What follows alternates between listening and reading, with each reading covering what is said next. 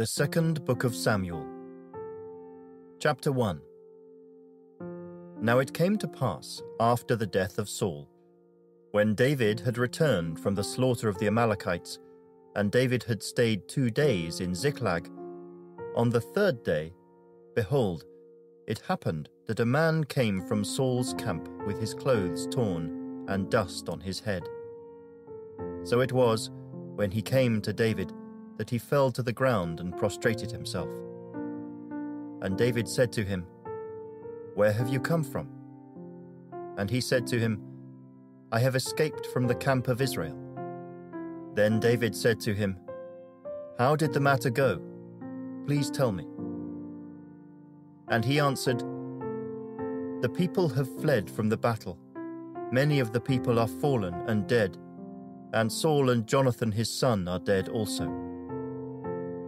So David said to the young man who told him, How do you know that Saul and Jonathan his son are dead? Then the young man who told him said, As I happened by chance to be on Mount Gilboa, there was Saul, leaning on his spear. And indeed the chariots and horsemen followed hard after him. Now when he looked behind him, he saw me and called to me.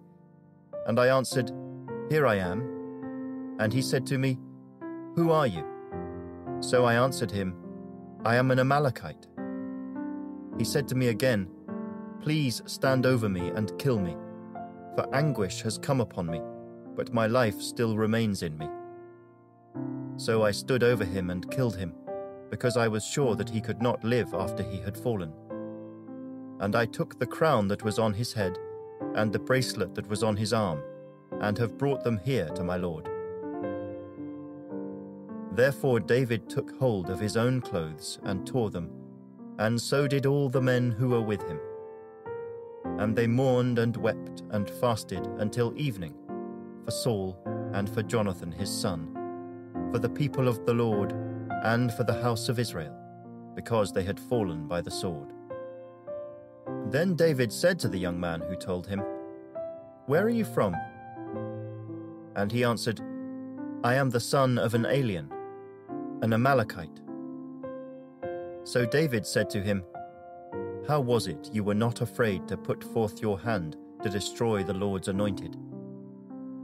Then David called one of the young men and said, Go near and execute him. And he struck him so that he died. So David said to him, Your blood is on your own head, for your own mouth has testified against you, saying, I have killed the Lord's anointed. Then David lamented with this lamentation over Saul and over Jonathan his son. And he told them to teach the children of Judah the song of the bow. Indeed, it is written in the book of Jasher. The beauty of Israel is slain on your high places. How the mighty have fallen. Tell it not in Gath, proclaim it not in the streets of Ashkelon, lest the daughters of the Philistines rejoice lest the daughters of the uncircumcised triumph. O mountains of Gilboa, let there be no dew nor rain upon you, nor fields of offerings. For the shield of the mighty is cast away there, the shield of Saul, not anointed with oil. From the blood of the slain, from the fat of the mighty, the bow of Jonathan did not turn back, and the sword of Saul did not return empty. Saul and Jonathan were beloved and pleasant in their lives, and in their death they were not divided. They were swifter than eagles, they were stronger than lions. O daughters of Israel, weep over Saul, who clothed you in scarlet with luxury, who put ornaments of gold on your apparel. How the mighty have fallen in the midst of the battle. Jonathan was slain in your high places. I am distressed for you, my brother Jonathan. You have been very pleasant to me. Your love to me was wonderful, surpassing the love of women. How the mighty have fallen, and the weapons of war perished. Chapter 2 It happened after this that David inquired of the Lord, saying, Shall I go up to any of the cities of Judah? And the Lord said to him, Go up. David said, Where shall I go up?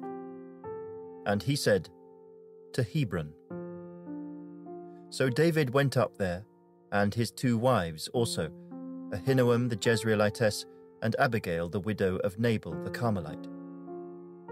And David brought up the men who were with him, every man with his household. So they dwelt in the cities of Hebron. Then the men of Judah came, and there they anointed David king over the house of Judah.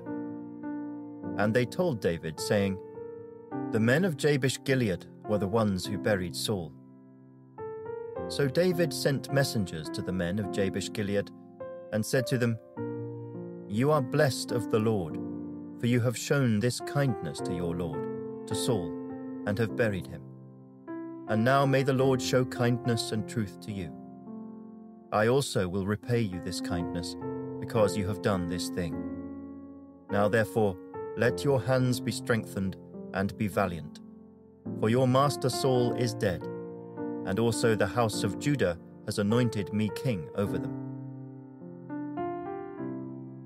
But Abner the son of Ner, commander of Saul's army, took Ishbosheth the son of Saul, and brought him over to Mahanaim. And he made him king over Gilead, over the Asherites, over Jezreel, over Ephraim, over Benjamin, and over all Israel.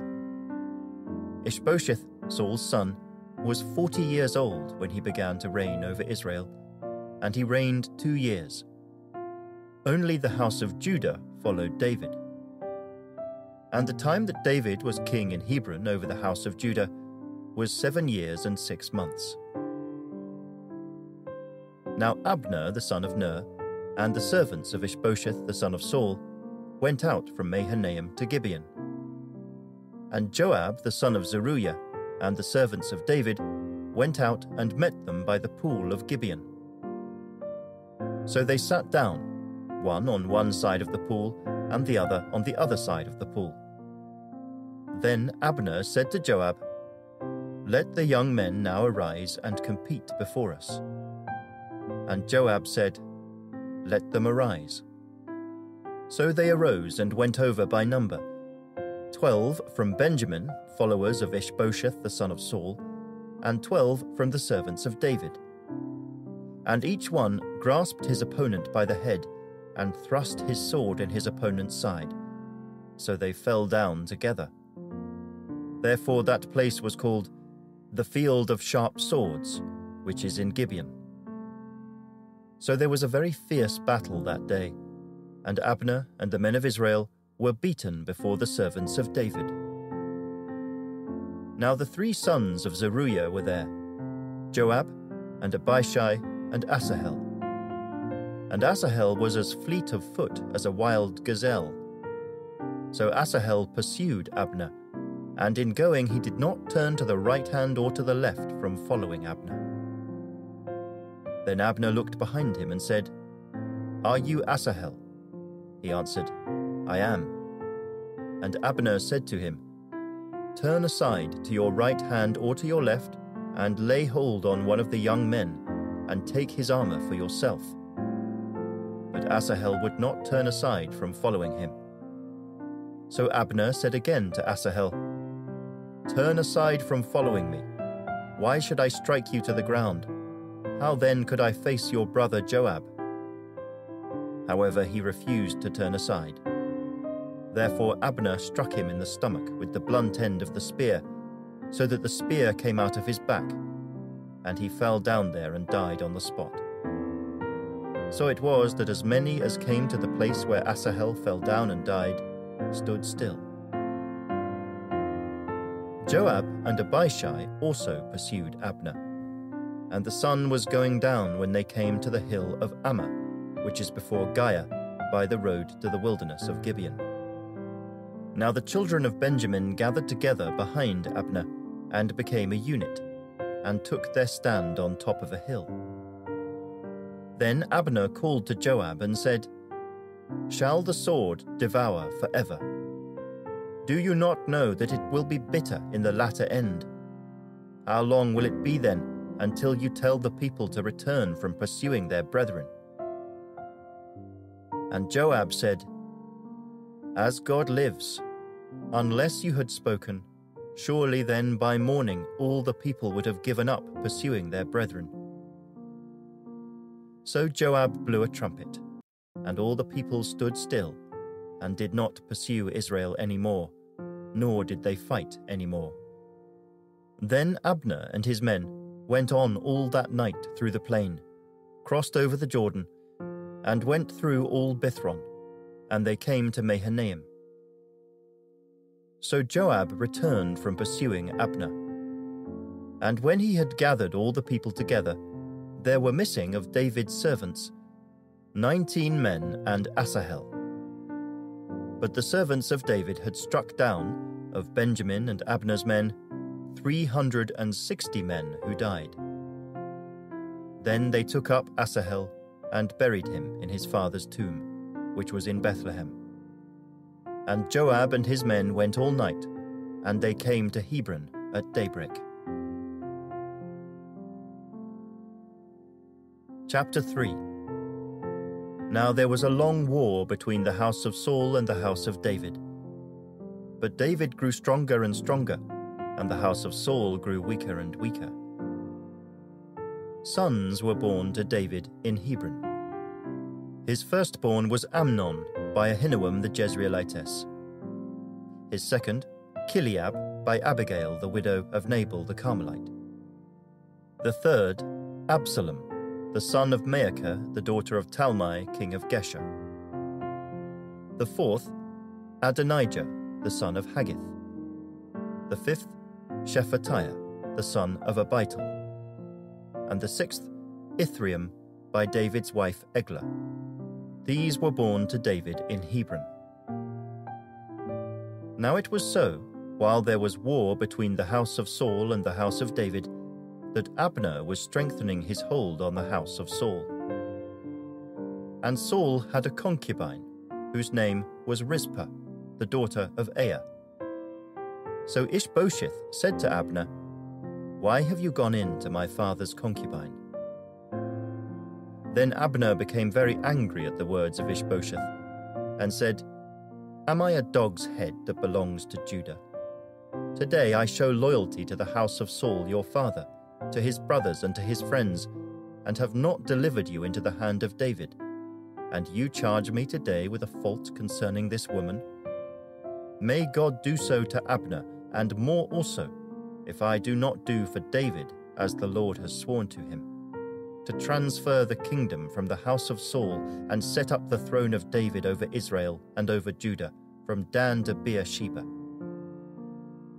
And he could not answer Abner another word, because he feared him. Then Abner sent messengers on his behalf to David, saying, Whose is the land? Saying also, Make your covenant with me, and indeed my hand shall be with you to bring all Israel to you. And David said, Good, I will make a covenant with you. But one thing I require of you you shall not see my face unless you first bring Michal, Saul's daughter, when you come to see my face. So David sent messengers to Ishbosheth, Saul's son, saying, Give me my wife Michal, whom I betrothed to myself for a hundred foreskins of the Philistines. And Ishbosheth sent and took her from her husband, from Paltiel the son of Laish. Then her husband went along with her to Bahurim, weeping behind her. So Abner said to him, Go, return. And he returned. Now Abner had communicated with the elders of Israel, saying, In time past you were seeking for David to be king over you. Now then, do it for the Lord has spoken of David, saying, By the hand of my servant David, I will save my people Israel from the hand of the Philistines and the hand of all their enemies. And Abner also spoke in the hearing of Benjamin. Then Abner also went to speak in the hearing of David in Hebron all that seemed good to Israel and the whole house of Benjamin. So Abner and twenty men with him came to David at Hebron. And David made a feast for Abner and the men who were with him. Then Abner said to David, I will arise and go and gather all Israel to my lord the king, that they may make a covenant with you, and that you may reign over all that your heart desires. So David sent Abner away, and he went in peace. At that moment, the servants of David and Joab came from a raid and brought much spoil with them. But Abner was not with David in Hebron, for he had sent him away, and he had gone in peace. When Joab and all the troops that were with him had come, they told Joab, saying, Abner the son of Ner came to the king, and he sent him away, and he has gone in peace. Then Joab came to the king and said, What have you done? Look, Abner came to you.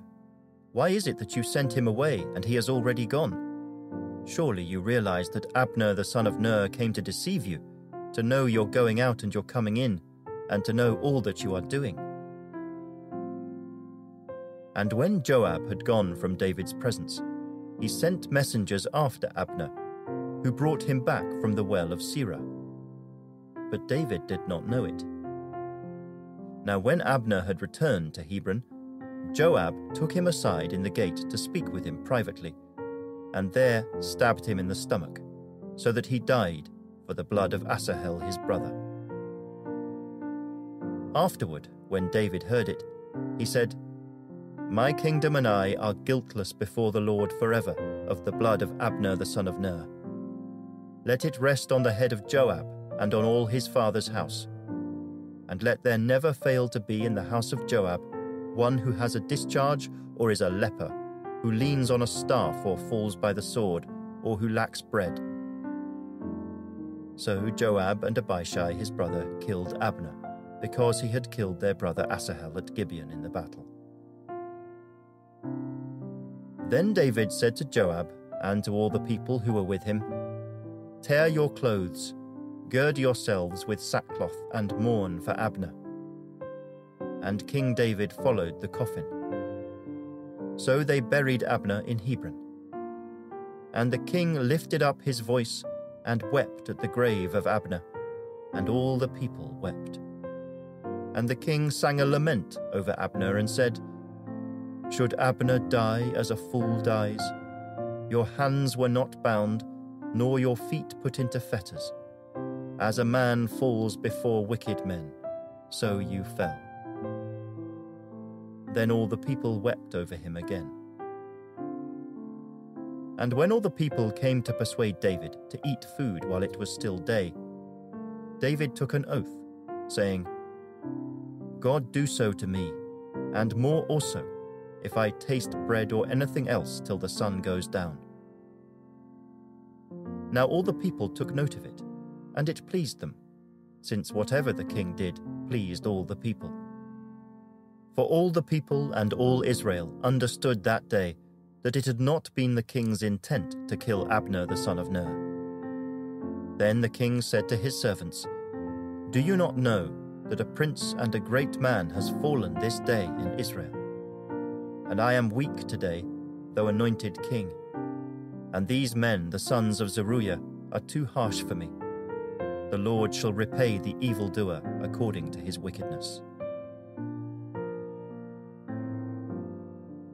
Chapter 4 When Saul's son heard that Abner had died in Hebron, he lost heart and all Israel was troubled. Now Saul's son had two men who were captains of troops. The name of one was Baanah, and the name of the other Rechab, the sons of Rimmon the Beerothite of the children of Benjamin. For Beeroth also was part of Benjamin, because the Beerothites fled to Gittaim, and have been sojourners there until this day. Jonathan, Saul's son, had a son who was lame in his feet. He was five years old when the news about Saul and Jonathan came from Jezreel, and his nurse took him up and fled. And it happened, as she made haste to flee, that he fell and became lame. His name was Mephibosheth. Then the sons of Rimmon the Beerothite, Rechab and Baanah, set out and came at about the heat of the day to the house of Ishbosheth, who was lying on his bed at noon. And they came there, all the way into the house, as though to get wheat, and they stabbed him in the stomach. Then Rechab and Baanah his brother escaped. For when they came into the house, he was lying on his bed in his bedroom. Then they struck him and killed him, beheaded him and took his head, and were all night escaping through the plain. And they brought the head of Ishbosheth to David at Hebron, and said to the king, Here is the head of Ishbosheth, the son of Saul your enemy, who sought your life. And the Lord has avenged my lord the king this day of Saul and his descendants. But David answered Rechab and Baanah his brother, the sons of Rimmon the Beerothite, and said to them, As the Lord lives, who has redeemed my life from all adversity, when someone told me, saying, Look, Saul is dead, thinking to have brought good news, I arrested him and had him executed in Ziklag, the one who thought I would give him a reward for his news. How much more when wicked men have killed a righteous person in his own house on his bed? Therefore, shall I not now require his blood at your hand and remove you from the earth? So David commanded his young men, and they executed them, cut off their hands and feet, and hanged them by the pool in Hebron. But they took the head of Ishbosheth and buried it in the tomb of Abner in Hebron. Chapter 5 Then all the tribes of Israel came to David at Hebron and spoke, saying, Indeed, we are your bone and your flesh. Also, in time past, when Saul was king over us, you were the one who led Israel out and brought them in. And the Lord said to you, You shall shepherd my people Israel and be ruler over Israel. Therefore, all the elders of Israel came to the king at Hebron and King David made a covenant with them at Hebron before the Lord. And they anointed David king over Israel. David was thirty years old when he began to reign, and he reigned forty years. In Hebron he reigned over Judah seven years and six months, and in Jerusalem he reigned thirty three years over all Israel and Judah. And the king and his men went to Jerusalem against the Jebusites, the inhabitants of the land, who spoke to David, saying, You shall not come in here, but the blind and the lame will repel you, thinking, David cannot come in here. Nevertheless, David took the stronghold of Zion, that is, the city of David. Now David said on that day, Whoever climbs up by way of the water shaft and defeats the Jebusites, the lame and the blind, who are hated by David's soul, he shall be chief and captain.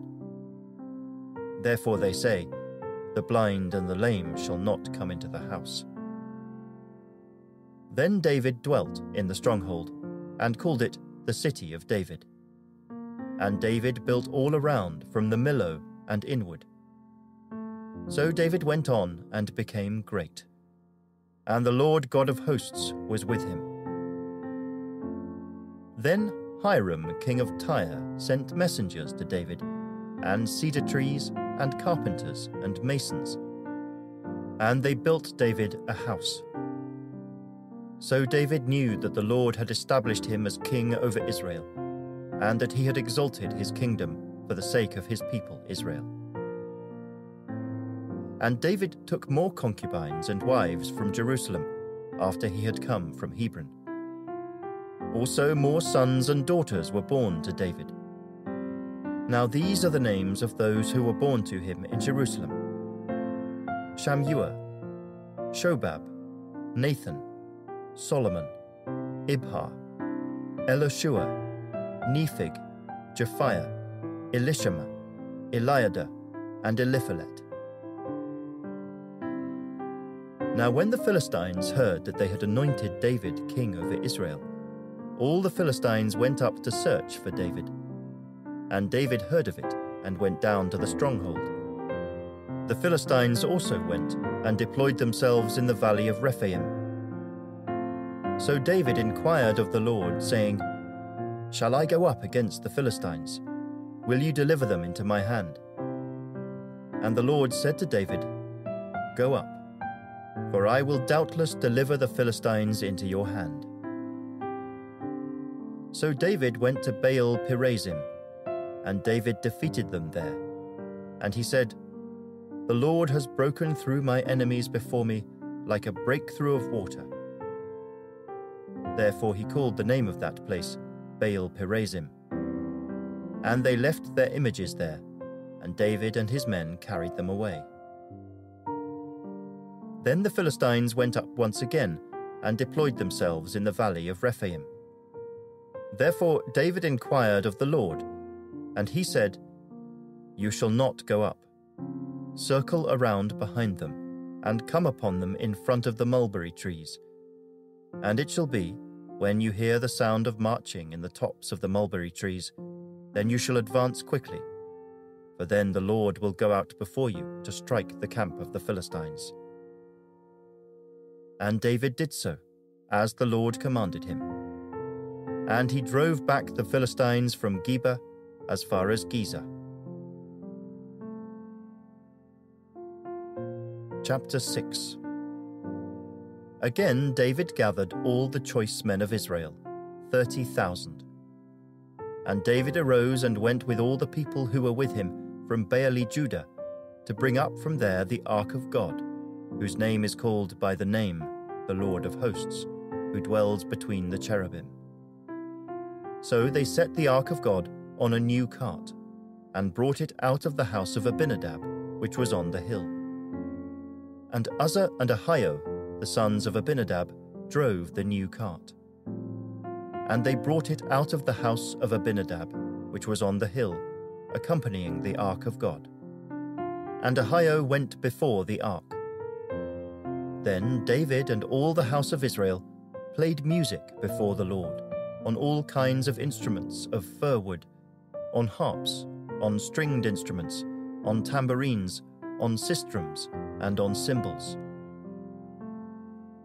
And when they came to Nachon's threshing floor, Uzzah put out his hand to the ark of God and took hold of it, for the oxen stumbled.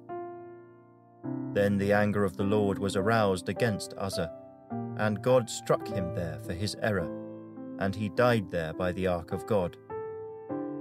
And David became angry because of the Lord's outbreak against Uzzah, and he called the name of the place Perez Uzzah to this day. David was afraid of the Lord that day, and he said, How can the ark of the Lord come to me? So David would not move the ark of the Lord with him into the city of David. But David took it aside into the house of Obed Edom the Gittite. The ark of the Lord remained in the house of Obed Edom the Gittite three months. And the Lord blessed Obed Edom and all his household. Now it was told King David, saying, The Lord has blessed the house of Obed Edom and all that belongs to him, because of the ark of God. So David went and brought up the ark of God from the house of Obed Edom to the city of David with gladness. And so it was, when those bearing the ark of the Lord had gone six paces, that he sacrificed oxen and fatted sheep. Then David danced before the Lord with all his might, and David was wearing a linen ephod. So David and all the house of Israel brought up the ark of the Lord with shouting and with the sound of the trumpet. Now, as the ark of the Lord came into the city of David, Michal, Saul's daughter, looked through a window and saw King David leaping and whirling before the Lord, and she despised him in her heart. So they brought the ark of the Lord and set it in its place in the midst of the tabernacle that David had erected for it. Then David offered burnt offerings and peace offerings before the Lord. And when David had finished offering burnt offerings and peace offerings, he blessed the people in the name of the Lord of hosts. Then he distributed among all the people, among the whole multitude of Israel, both the women and the men, to everyone a loaf of bread, a piece of meat, and a cake of raisins. So all the people departed, everyone to his house. Then David returned to bless his household. And Michal, the daughter of Saul, came out to meet David, and said, How glorious was the king of Israel today, uncovering himself today in the eyes of the maids of his servants, as one of the base fellows shamelessly uncovers himself. So David said to Michal, It was before the Lord, who chose me instead of your father and all his house, to appoint me ruler over the people of the Lord, over Israel. Therefore I will play music before the Lord, and I will be even more undignified than this, and will be humble in my own sight. But as for the maidservants of whom you have spoken, by them I will be held in honor. Therefore, Michal, the daughter of Saul, had no children to the day of her death. Chapter 7 Now it came to pass, when the king was dwelling in his house, and the Lord had given him rest from all his enemies all around, that the king said to Nathan the prophet, See now, I dwell in a house of cedar, but the ark of God dwells inside tent curtains.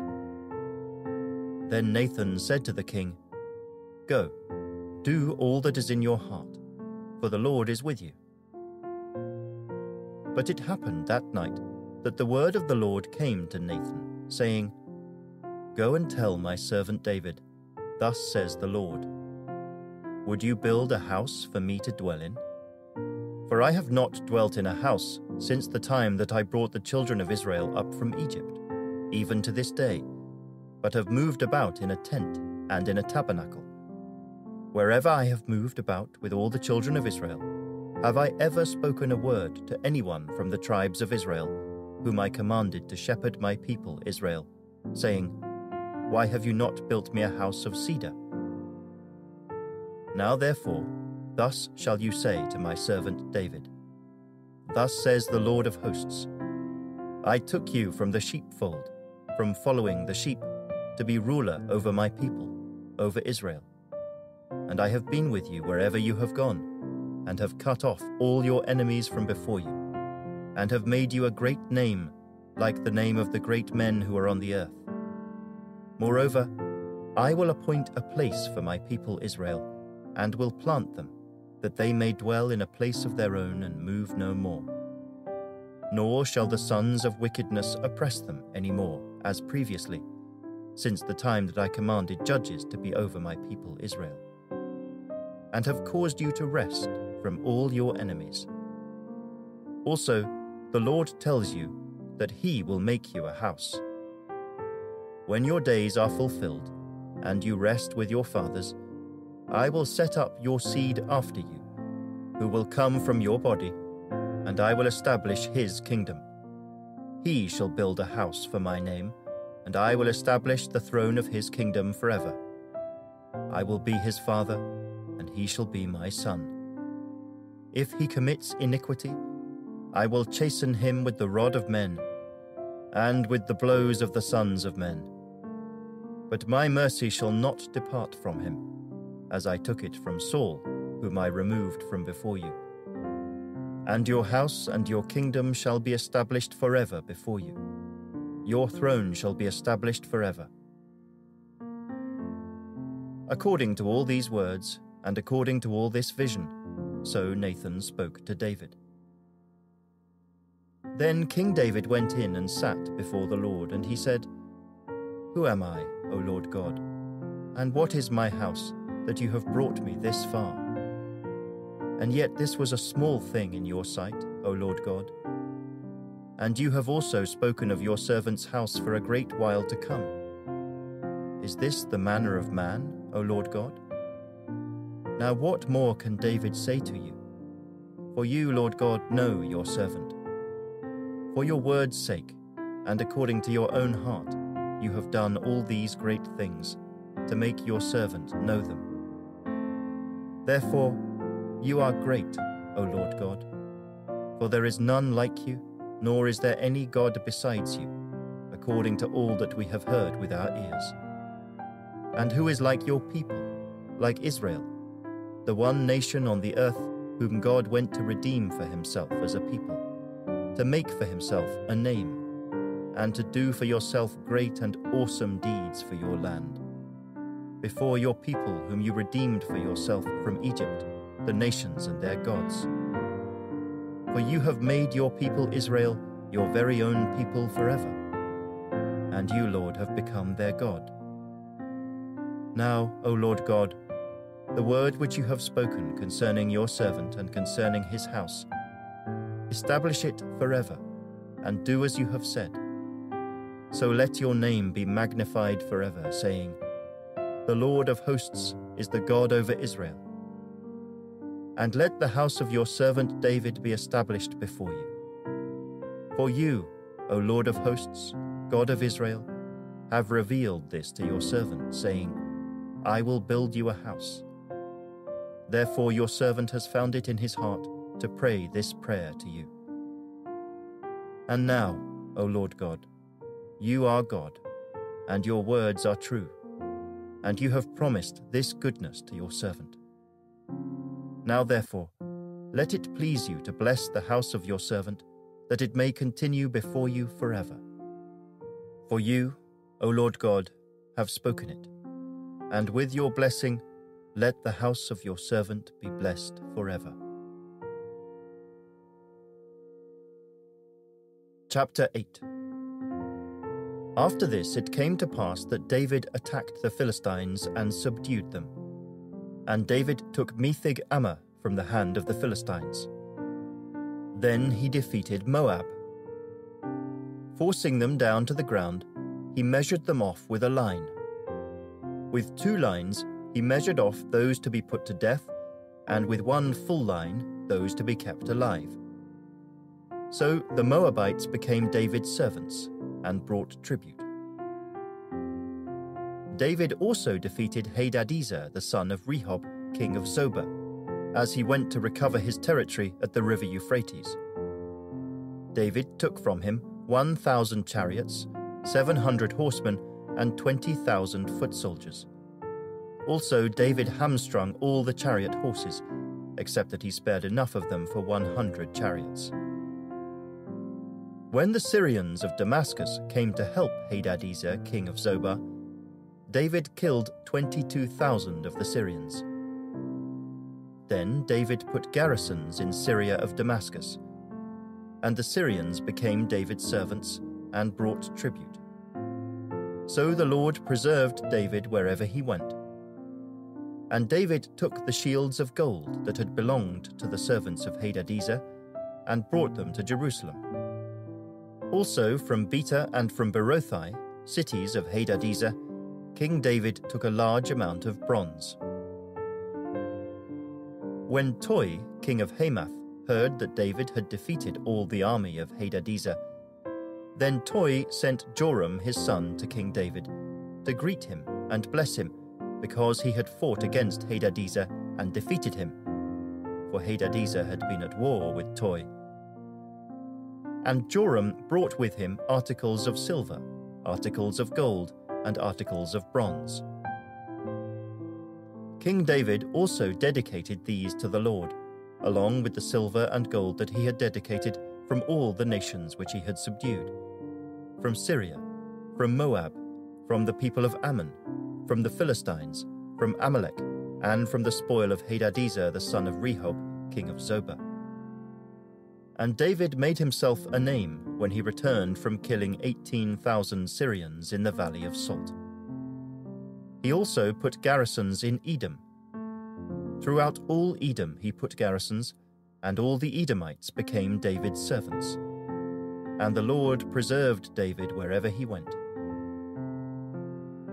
So David reigned over all Israel, and David administered judgment and justice to all his people. Joab, the son of Zeruiah, was over the army. Jehoshaphat, the son of Ahilud, was recorder. Zadok the son of Ahitub and Ahimelech the son of Abiathar were the priests. Seraiah was the scribe. Benaiah the son of Jehoiada was over both the Cherethites and the Pelethites, and David's sons were chief ministers. Chapter 9 Now David said, Is there still anyone who is left of the house of Saul, that I may show him kindness for Jonathan's sake? And there was a servant of the house of Saul, whose name was Ziba. So when they had called him to David, the king said to him, Are you Ziba? He said, At your service. Then the king said, Is there not still someone of the house of Saul, to whom I may show the kindness of God? And Ziba said to the king, There is still a son of Jonathan, who is lame in his feet. So the king said to him, Where is he?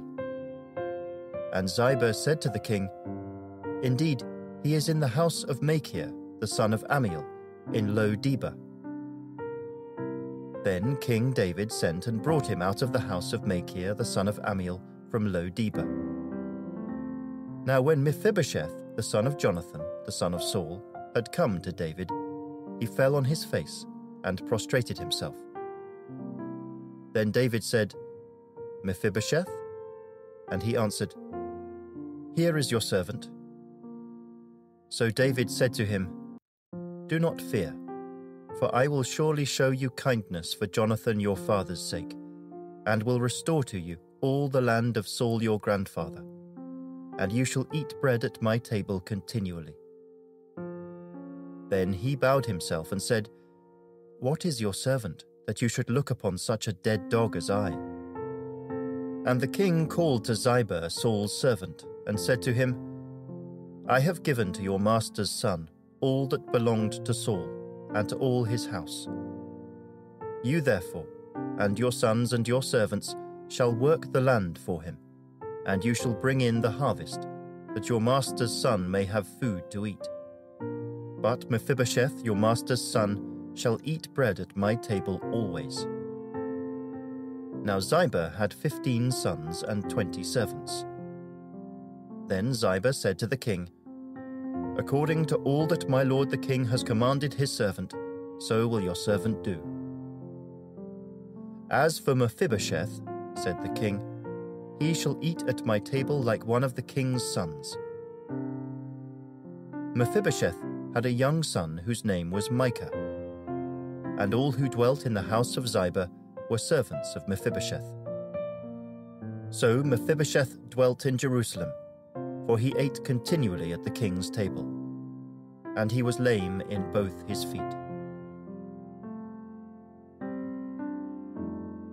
Chapter 10 It happened after this that the king of the people of Ammon died, and Hanun his son reigned in his place. Then David said, I will show kindness to Hanun the son of Nahash, as his father showed kindness to me so David sent by the hand of his servants to comfort him concerning his father. And David's servants came into the land of the people of Ammon.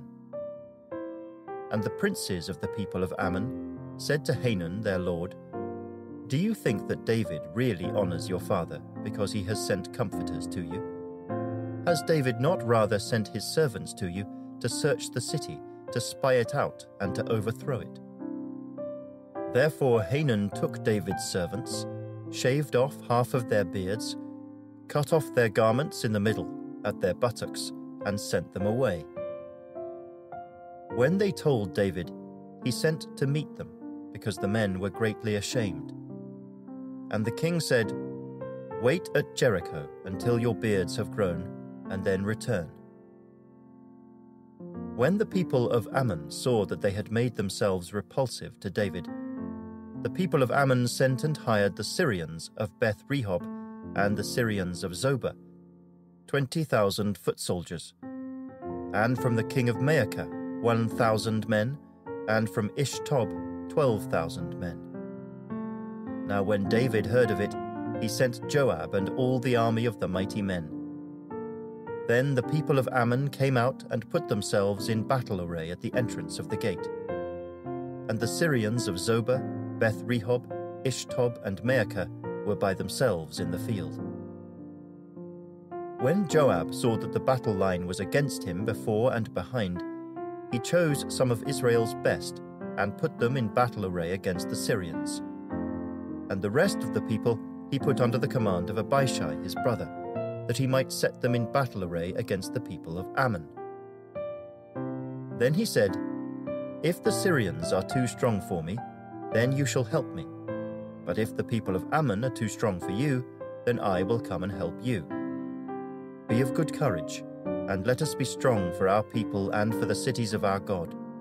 And may the Lord do what is good in his sight. So Joab and the people who were with him drew near for the battle against the Syrians, and they fled before him. When the people of Ammon saw that the Syrians were fleeing, they also fled before Abishai and entered the city. So Joab returned from the people of Ammon and went to Jerusalem. When the Syrians saw that they had been defeated by Israel, they gathered together. Then Hadadezer sent and brought out the Syrians who were beyond the river, and they came to Helam. And Shobach, the commander of Hadadezer's army, went before them. When it was told David, he gathered all Israel, crossed over the Jordan, and came to Helam. And the Syrians set themselves in battle array against David and fought with him. Then the Syrians fled before Israel and David killed 700 charioteers and 40,000 horsemen of the Syrians, and struck Shobach, the commander of their army, who died there. And when all the kings who were servants to Hadadezer saw that they were defeated by Israel, they made peace with Israel and served them. So the Syrians were afraid to help the people of Ammon any more. Chapter 11 It happened in the spring of the year, at the time when kings go out to battle, that David sent Joab and his servants with him and all Israel. And they destroyed the people of Ammon and besieged Rabbah. But David remained at Jerusalem. Then it happened one evening that David arose from his bed and walked on the roof of the king's house. And from the roof he saw a woman bathing, and the woman was very beautiful to behold. So David sent and inquired about the woman. And someone said, Is this not Bathsheba, the daughter of Eliam, the wife of Uriah the Hittite?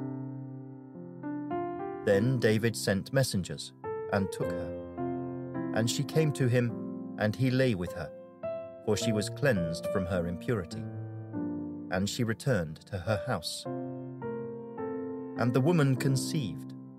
So she sent and told David, and said, I am with child. Then David sent to Joab, saying, Send me Uriah the Hittite. And Joab sent Uriah to David. When Uriah had come to him, David asked how Joab was doing, and how the people were doing, and how the war prospered. And David said to Uriah, Go down to your house and wash your feet. So Uriah departed from the king's house, and a gift of food from the king followed him. But Uriah slept at the door of the king's house with all the servants of his lord, and did not go down to his house. So when they told David, saying, Uriah did not go down to his house, David said to Uriah, did you not come from a journey? Why did you not go down to your house? And Uriah said to David, The ark and Israel and Judah are dwelling in tents, and my lord Joab and the servants of my lord are encamped in the open fields. Shall I then go to my house to eat and drink and to lie with my wife? As you live and as your soul lives, I will not do this thing. Then David said to Uriah, Wait here today also, and tomorrow I will let you depart. So Uriah remained in Jerusalem that day and the next. Now, when David called him, he ate and drank before him, and he made him drunk. And at evening he went out to lie on his bed with the servants of his Lord, but he did not go down to his house. In the morning it happened that David wrote a letter to Joab and sent it by the hand of Uriah. And he wrote in the letter, saying, Set Uriah in the forefront of the hottest battle, and retreat from him, that he may be struck down and die. So it was, while Joab besieged the city, that he assigned Uriah to a place where he knew there were valiant men. Then the men of the city came out and fought with Joab. And some of the people of the servants of David fell, and Uriah the Hittite died also. Then Joab sent and told David all the things concerning the war, and charged the messenger, saying, When you have finished telling the matters of the war to the king, if it happens that the king's wrath rises, and he says to you, Why did you approach so near to the city when you fought? Did you not know that they would shoot from the wall? Who struck Abimelech the son of Jerubbesheth? Was it not a woman who cast a piece of a millstone on him from the wall? So that he died in Thebez? Why did you go near the wall? Then you shall say, Your servant Uriah the Hittite is dead also. So the messenger went, and came and told David all that Joab had sent by him. And the messenger said to David, Surely the men prevailed against us, and came out to us in the field. Then we drove them back as far as the entrance of the gate. The archers shot from the wall at your servants, and some of the king's servants are dead, and your servant Uriah the Hittite is dead also. Then David said to the messenger, Thus you shall say to Joab, Do not let this thing displease you, for the sword devours one as well as another. Strengthen your attack against the city and overthrow it. So encourage him. When the wife of Uriah heard that Uriah her husband was dead, she mourned for her husband. And when her mourning was over, David sent and brought her to his house, and she became his wife and bore him a son. But the thing that David had done displeased the Lord. Chapter 12 Then the Lord sent Nathan to David and he came to him and said to him, There were two men in one city, one rich and the other poor. The rich man had exceedingly many flocks and herds, but the poor man had nothing except one little ewe lamb which he had bought and nourished, and it grew up together with him and with his children. It ate of his own food and drank from his own cup and lay in his bosom, and it was like a daughter to him. And a traveller came to the rich man, who refused to take from his own flock and from his own herd to prepare one for the wayfaring man who had come to him. But he took the poor man's lamb and prepared it for the man who had come to him. So David's anger was greatly aroused against the man, and he said to Nathan, As the Lord lives, the man who has done this shall surely die, and he shall restore fourfold for the lamb because he did this thing, and because he had no pity. Then Nathan said to David, You are the man. Thus says the Lord God of Israel I anointed you king over Israel, and I delivered you from the hand of Saul. I gave you your master's house and your master's wives into your keeping, and gave you the house of Israel and Judah. And if that had been too little, I also would have given you much more.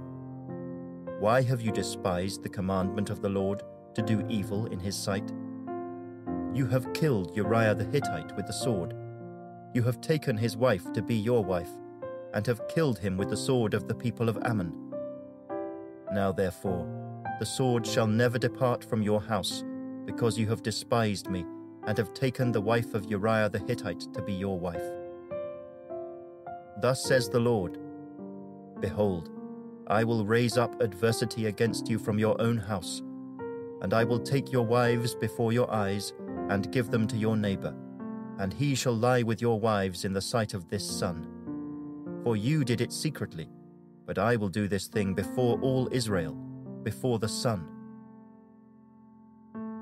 So David said to Nathan, I have sinned against the Lord. And Nathan said to David, The Lord also has put away your sin. You shall not die. However, because by this deed you have given great occasion to the enemies of the Lord to blaspheme, the child also who is born to you shall surely die. Then Nathan departed to his house. And the Lord struck the child that Uriah's wife bore to David, and it became ill. David therefore pleaded with God for the child. And David fasted and went in and lay all night on the ground. So the elders of his house arose and went to him to raise him up from the ground but he would not, nor did he eat food with them. Then on the seventh day it came to pass that the child died. And the servants of David were afraid to tell him that the child was dead. For they said, Indeed, while the child was alive, we spoke to him, and he would not heed our voice. How can we tell him that the child is dead? He may do some harm. When David saw that his servants were whispering, David perceived that the child was dead. Therefore David said to his servants, Is the child dead? And they said, He is dead. So David arose from the ground, washed and anointed himself, and changed his clothes. And he went into the house of the Lord and worshipped. Then he went to his own house.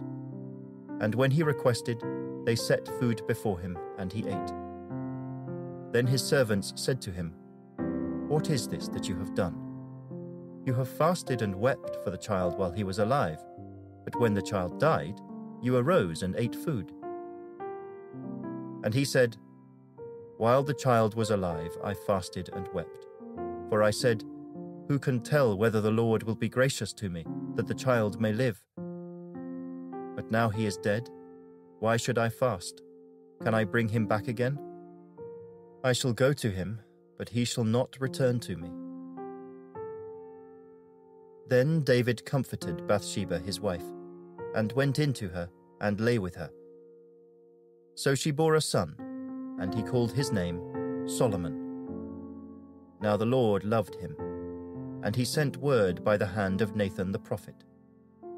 So he called his name Jedidiah, because of the Lord.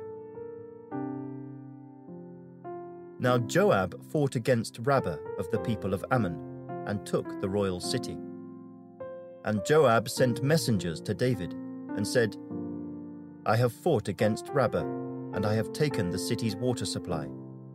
Now therefore, gather the rest of the people together, and encamp against the city, and take it, lest I take the city, and it be called after my name. So David gathered all the people together, and went to Rabbah fought against it, and took it. Then he took their king's crown from his head. Its weight was a talent of gold with precious stones, and it was set on David's head. Also he brought out the spoil of the city in great abundance. And he brought out the people who were in it, and put them to work with saws and iron picks and iron axes, and made them cross over to the brickworks. So he did to all the cities of the people of Ammon.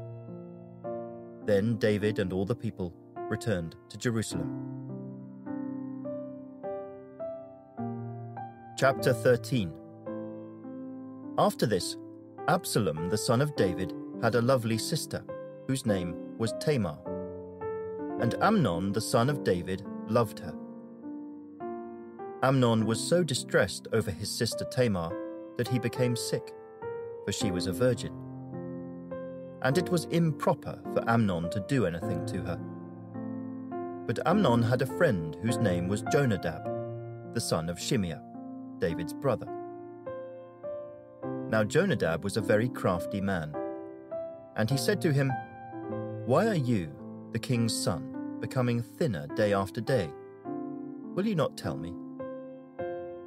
Amnon said to him, I love Tamar, my brother Absalom's sister. So Jonadab said to him, Lie down on your bed and pretend to be ill. And when your father comes to see you, say to him, Please let my sister Tamar come and give me food, and prepare the food in my sight, that I may see it and eat it from her hand. Then Amnon lay down and pretended to be ill. And when the king came to see him, Amnon said to the king, Please let Tamar, my sister, come and make a couple of cakes for me in my sight, that I may eat from her hand. And David sent home to Tamar, saying, Now go to your brother Amnon's house and prepare food for him. So Tamar went to her brother Amnon's house, and he was lying down. Then she took flour and kneaded it, made cakes in his sight, and baked the cakes. And she took the pan and placed them out before him, but he refused to eat. Then Amnon said, Have everyone go out from me. And they all went out from him. Then Amnon said to Tamar, Bring the food into the bedroom, that I may eat from your hand. And Tamar took the cakes which she had made, and brought them to Amnon her brother in the bedroom. Now when she had brought them to him to eat, he took hold of her and said to her, Come, lie with me, my sister. But she answered him, No, my brother, do not force me, for no such thing should be done in Israel. Do not do this disgraceful thing. And I, where could I take my shame? And as for you, you would be like one of the fools in Israel. Now therefore, please speak to the king, for he will not withhold me from you. However, he would not heed her voice, and being stronger than she, he forced her and lay with her. Then Amnon hated her exceedingly, so that the hatred with which he hated her was greater than the love with which he had loved her. And Amnon said to her, Arise, be gone. So she said to him, No, indeed, this evil of sending me away is worse than the other that you did to me. But he would not listen to her. Then he called his servant who attended him and said, Here, put this woman out, away from me, and bolt the door behind her. Now she had on a robe of many colours, for the king's virgin daughters wore such apparel. And his servant put her out and bolted the door behind her. Then Tamar put ashes on her head, and tore her robe of many colours that was on her, and laid her hand on her head, and went away crying bitterly. And Absalom her brother said to her, Has Amnon your brother been with you? But now hold your peace, my sister. He is your brother. Do not take this thing to heart. So Tamar remained desolate in her brother Absalom's house. But when King David heard of all these things, he was very angry. And Absalom spoke to his brother Amnon neither good nor bad. For Absalom hated Amnon because he had forced his sister Tamar. And it came to pass, after two full years, that Absalom had sheep shearers in Baal Hazor, which is near Ephraim. So Absalom invited all the king's sons. Then Absalom came to the king and said, Kindly note, your servant has sheep shearers. Please, let the king and his servants go with your servant. But the king said to Absalom, No, my son, let us not all go now, lest we be a burden to you. Then he urged him, but he would not go, and he blessed him. Then Absalom said, If not, please let my brother Amnon go with us. And the king said to him, Why should he go with you? But Absalom urged him. So he let Amnon and all the king's sons go with him. Now Absalom had commanded his servants, saying, Watch now, when Amnon's heart is merry with wine, and when I say to you, Strike Amnon, then kill him. Do not be afraid. Have I not commanded you? Be courageous and valiant. So the servants of Absalom did to Amnon as Absalom had commanded. Then all the king's sons arose, and each one got on his mule and fled. And it came to pass, while they were on the way, that news came to David, saying, Absalom has killed all the king's sons, and not one of them is left. So the king arose and tore his garments and lay on the ground. And all his servants stood by with their clothes torn. Then Jonadab, the son of Shimeah, David's brother, answered and said, Let not my lord suppose they have killed all the young men, the king's sons, for only Amnon is dead. For by the command of Absalom this has been determined from the day that he forced his sister Tamar. Now therefore, let not my lord the king take the thing to his heart, to think that all the king's sons are dead, for only Amnon is dead. Then Absalom fled, and the young man who was keeping watch lifted his eyes and looked, and there many people were coming from the road on the hillside behind him. And Jonadab said to the king, Look, the king's sons are coming. As your servant said, so it is. So it was, as soon as he had finished speaking, that the king's sons indeed came, and they lifted up their voice and wept. Also the king and all his servants wept very bitterly. But Absalom fled and went to Talmai the son of Ammihud, king of Geshur. And David mourned for his son every day. So Absalom fled and went to Geshur, and was there three years. And King David longed to go to Absalom, for he had been comforted concerning Amnon, because he was dead.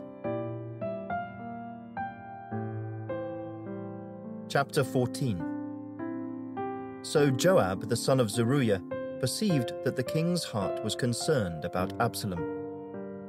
And Joab sent to Tekoa and brought from there a wise woman, and said to her, Please pretend to be a mourner, and put on mourning apparel. Do not anoint yourself with oil, but act like a woman who has been mourning a long time for the dead. Go to the king and speak to him in this manner. So Joab put the words in her mouth.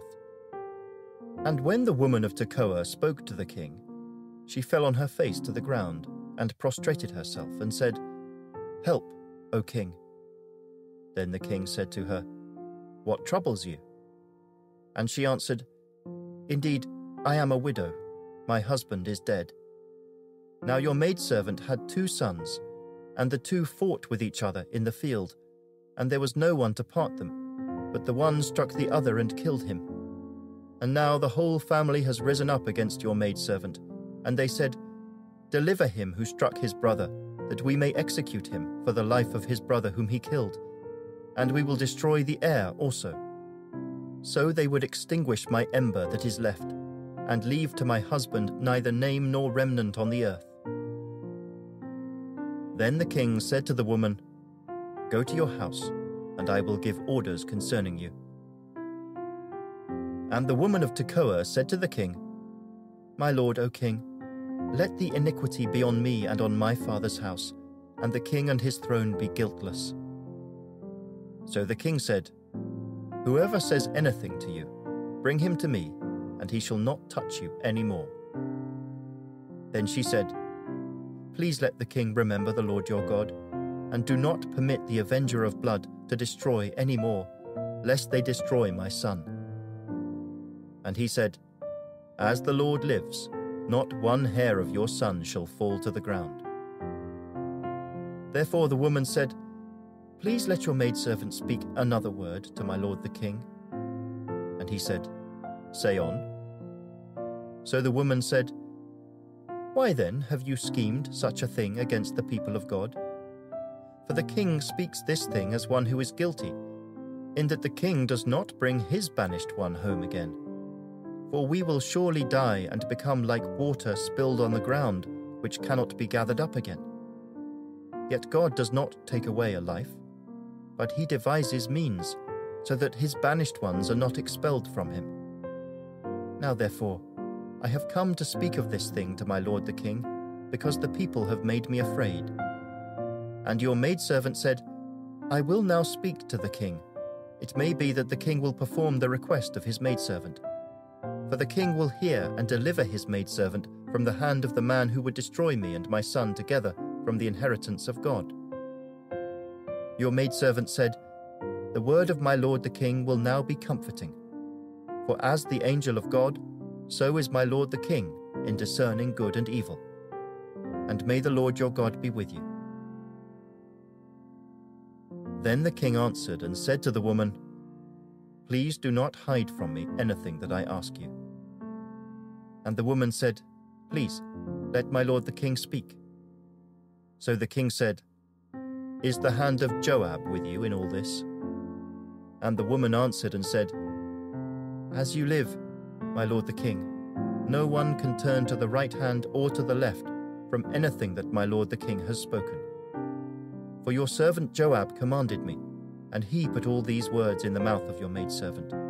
To bring about this change of affairs, your servant Joab has done this thing. But my lord is wise, according to the wisdom of the angel of God, to know everything that is in the earth. And the king said to Joab, All right, I have granted this thing. Go therefore, bring back the young man Absalom. Then Joab fell to the ground on his face and bowed himself and thanked the king. And Joab said, Today your servant knows that I have found favor in your sight, my lord, O king in that the king has fulfilled the request of his servant. So Joab arose and went to Geshur, and brought Absalom to Jerusalem. And the king said, Let him return to his own house, but do not let him see my face. So Absalom returned to his own house, but did not see the king's face. Now in all Israel, there was no one who was praised as much as Absalom for his good looks. From the sole of his foot to the crown of his head, there was no blemish in him. And when he cut the hair of his head, at the end of every year he cut it because it was heavy on him. When he cut it, he weighed the hair of his head at two hundred shekels, according to the king's standard. To Absalom were born three sons, and one daughter whose name was Tamar. She was a woman of beautiful appearance. And Absalom dwelt two full years in Jerusalem, but did not see the king's face. Therefore Absalom sent for Joab to send him to the king, but he would not come to him.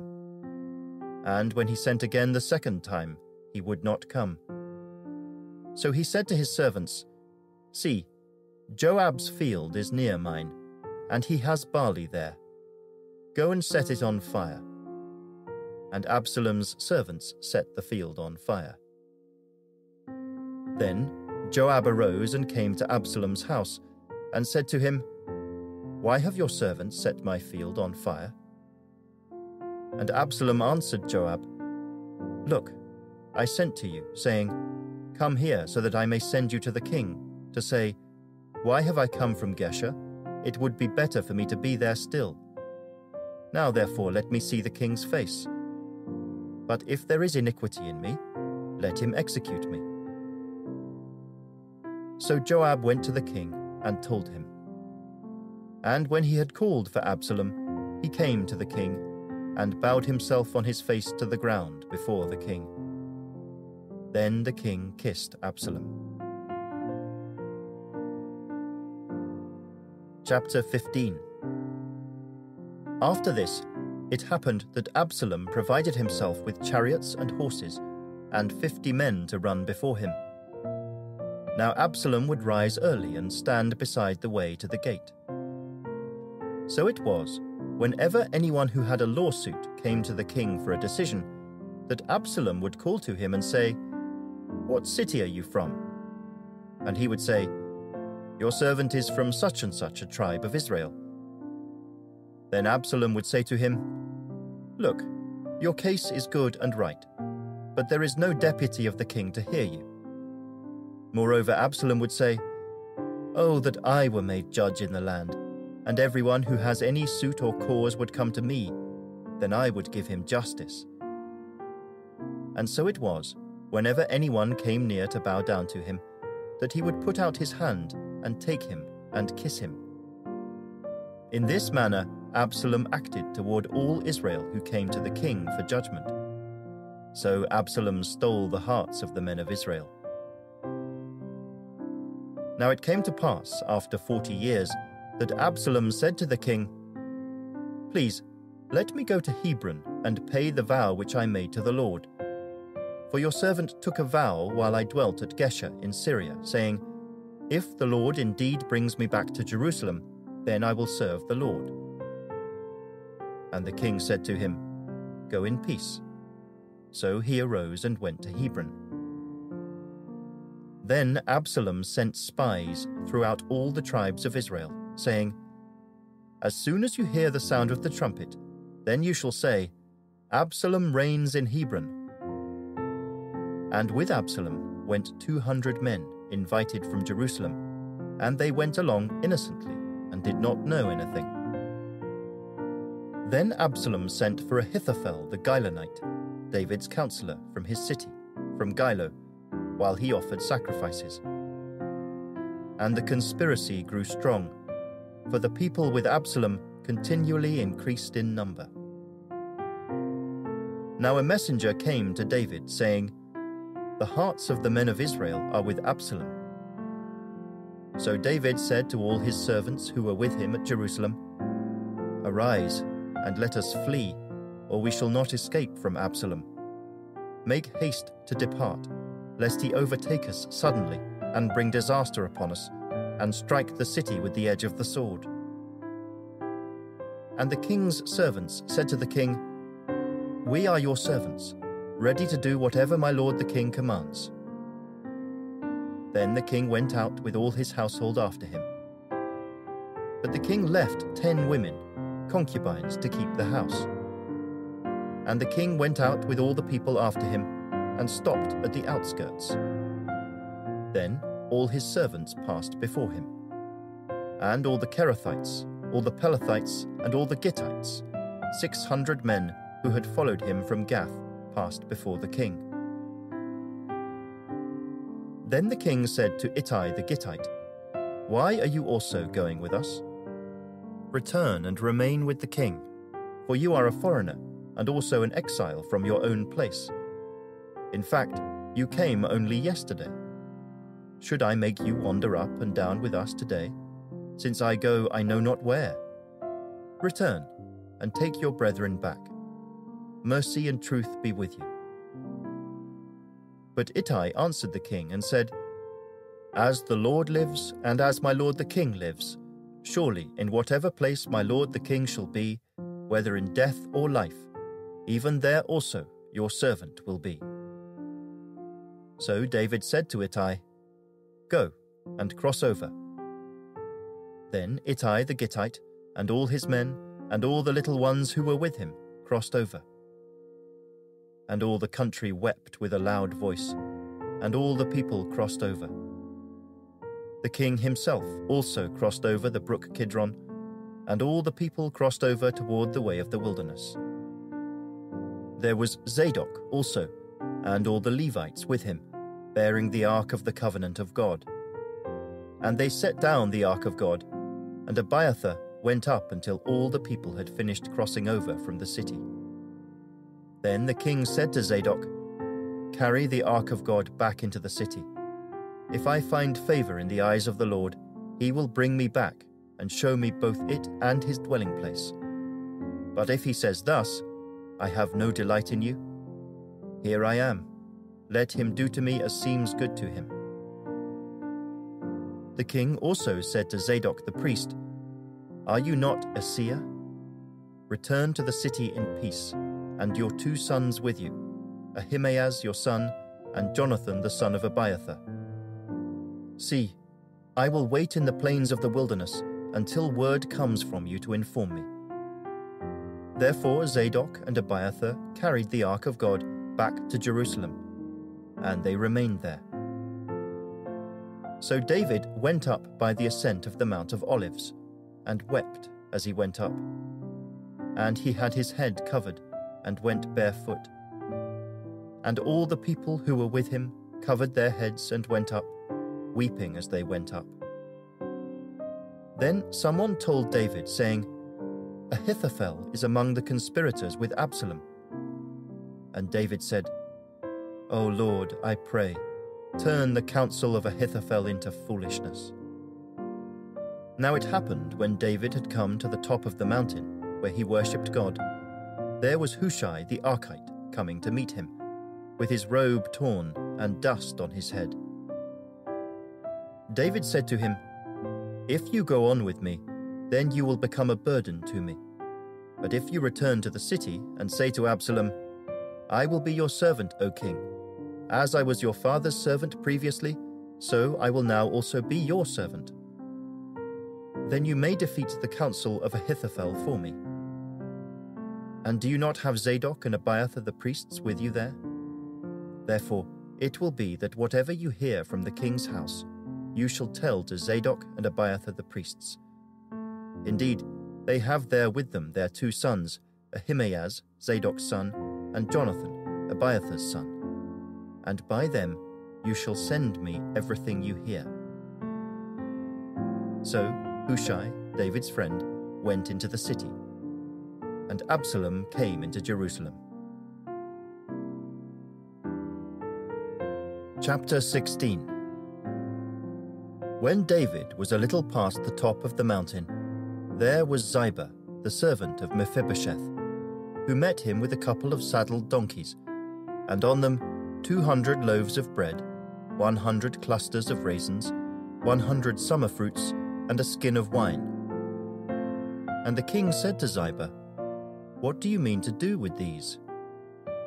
So Ziba said, The donkeys are for the king's household to ride on, the bread and summer fruit for the young men to eat, and the wine for those who are faint in the wilderness to drink.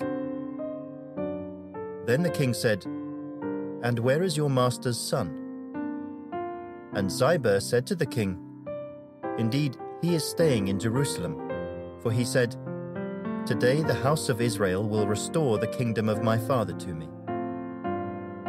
So the king said to Ziba, Here, all that belongs to Mephibosheth is yours.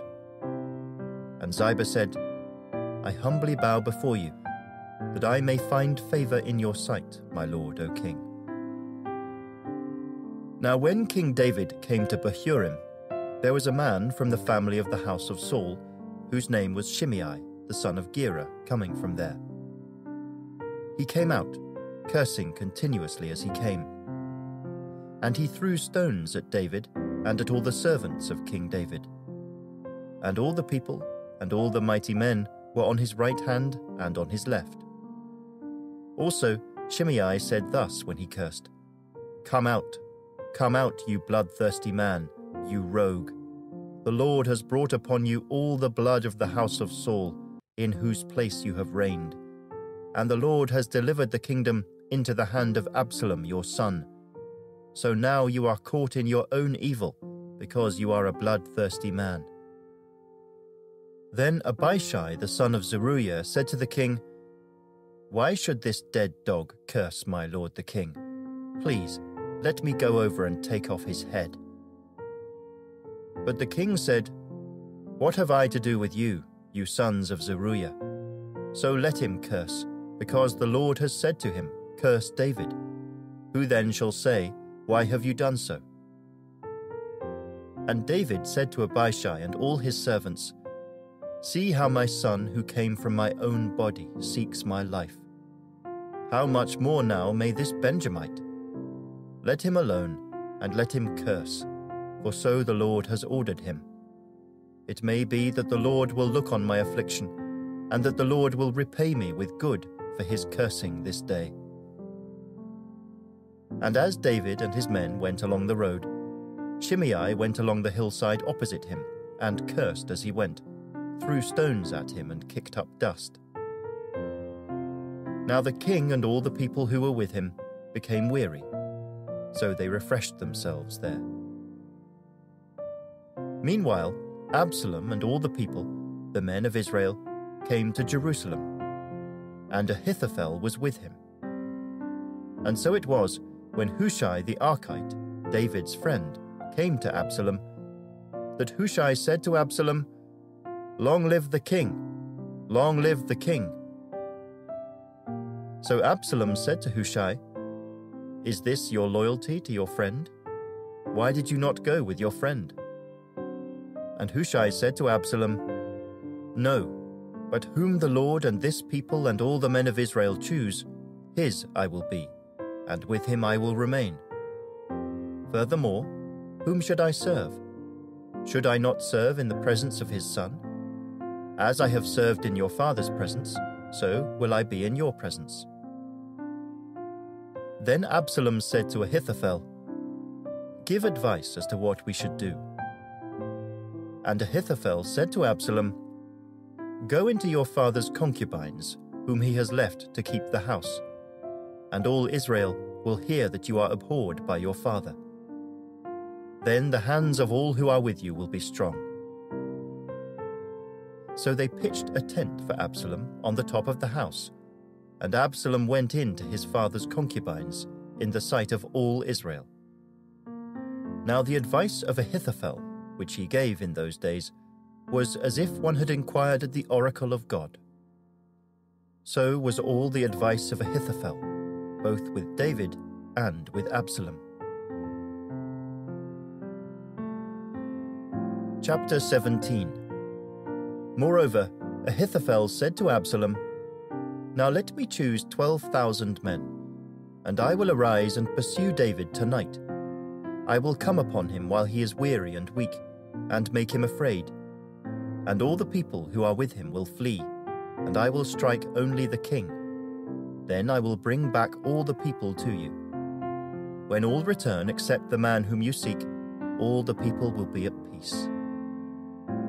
And the saying pleased Absalom and all the elders of Israel.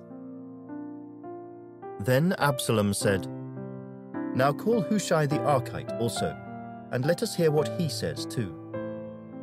And when Hushai came to Absalom, Absalom spoke to him, saying, Ahithophel has spoken in this manner. Shall we do as he says? If not, speak up. So Hushai said to Absalom, the advice that Ahithophel has given is not good at this time. For, said Hushai, you know your father and his men, that they are mighty men, and they are enraged in their minds, like a bear robbed of her cubs in the field. And your father is a man of war, and will not camp with the people. Surely by now he is hidden in some pit or in some other place. And it will be, when some of them are overthrown at the first, that whoever hears it will say, There is a slaughter among the people who follow Absalom. And even he who is valiant, whose heart is like the heart of a lion, will melt completely. For all Israel knows that your father is a mighty man, and those who are with him are valiant men. Therefore, I advise that all Israel be fully gathered to you, from Dan to Beersheba, like the sand that is by the sea for multitude, and that you go to battle in person. So we will come upon him in some place where he may be found, and we will fall on him as the dew falls on the ground. And of him and all the men who are with him, there shall not be left so much as one. Moreover, if he has withdrawn into a city, then all Israel shall bring ropes to that city, and we will pull it into the river, until there is not one small stone found there. So Absalom and all the men of Israel said, The advice of Hushai the Archite is better than the advice of Ahithophel. For the Lord had purposed to defeat the good advice of Ahithophel to the intent that the Lord might bring disaster on Absalom. Then Hushai said to Zadok and Abiathar the priests, Thus and so Ahithophel advised Absalom and the elders of Israel, and thus and so I have advised. Now therefore, send quickly and tell David, saying, Do not spend this night in the plains of the wilderness, but speedily cross over, lest the king and all the people who are with him be swallowed up. Now Jonathan and Ahimaaz stayed at En Rogel, but they dared not be seen coming into the city. So a female servant would come and tell them, and they would go and tell King David. Nevertheless, a lad saw them and told Absalom. But both of them went away quickly and came to a man's house in Bahurim, who had a well in his court, and they went down into it. Then the woman took and spread a covering over the well's mouth, and spread ground grain on it, and the thing was not known. And when Absalom's servants came to the woman at the house, they said, Where are Ahimaaz and Jonathan? So the woman said to them, They have gone over the water brook. And when they had searched and could not find them, they returned to Jerusalem. Now it came to pass, after they had departed, that they came up out of the well and went and told King David, and said to David, Arise and cross over the water quickly, for thus has Ahithophel advised against you. So David and all the people who were with him arose and crossed over the Jordan. By morning light, not one of them was left who had not gone over the Jordan. Now, when Ahithophel saw that his advice was not followed, he saddled a donkey and arose and went home to his house, to his city. Then he put his household in order and hanged himself and died, and he was buried in his father's tomb. Then David went to Mahanaim, and Absalom crossed over the Jordan, he and all the men of Israel with him. And Absalom made Amasa captain of the army instead of Joab. This Amasa was the son of a man whose name was Jithra, an Israelite, who had gone into Abigail, the daughter of Nahash, sister of Zeruiah, Joab's mother. So Israel and Absalom encamped in the land of Gilead. Now it happened when David had come to Mahanaim that Shobai the son of Nahash from Rabbah of the people of Ammon, Machir the son of Ammiel from Lo Debar, and Barzillai the Gileadite from Rogelim brought beds and basins, earthen vessels and wheat, barley and flour, parched grain and beans, lentils and parched seeds, honey and curds, sheep and cheese of the herd, for David and the people who were with him to eat. For they said, The people are hungry and weary and thirsty in the wilderness.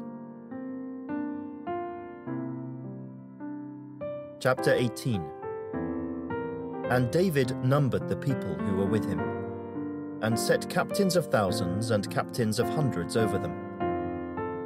Then David sent out one third of the people under the hand of Joab, one third under the hand of Abishai the son of Zeruiah, Joab's brother, and one third under the hand of Ittai the Gittite. And the king said to the people, I also will surely go out with you myself but the people answered, You shall not go out. For if we flee away, they will not care about us, nor if half of us die will they care about us. But you are worth ten thousand of us now, for you are now more help to us in the city. Then the king said to them, Whatever seems best to you, I will do. So the king stood beside the gate and all the people went out by hundreds and by thousands. Now the king had commanded Joab, Abishai, and Ittai, saying, Deal gently for my sake with the young man Absalom. And all the people heard when the king gave all the captains orders concerning Absalom. So the people went out into the field of battle against Israel. And the battle was in the woods of Ephraim the people of Israel were overthrown there before the servants of David.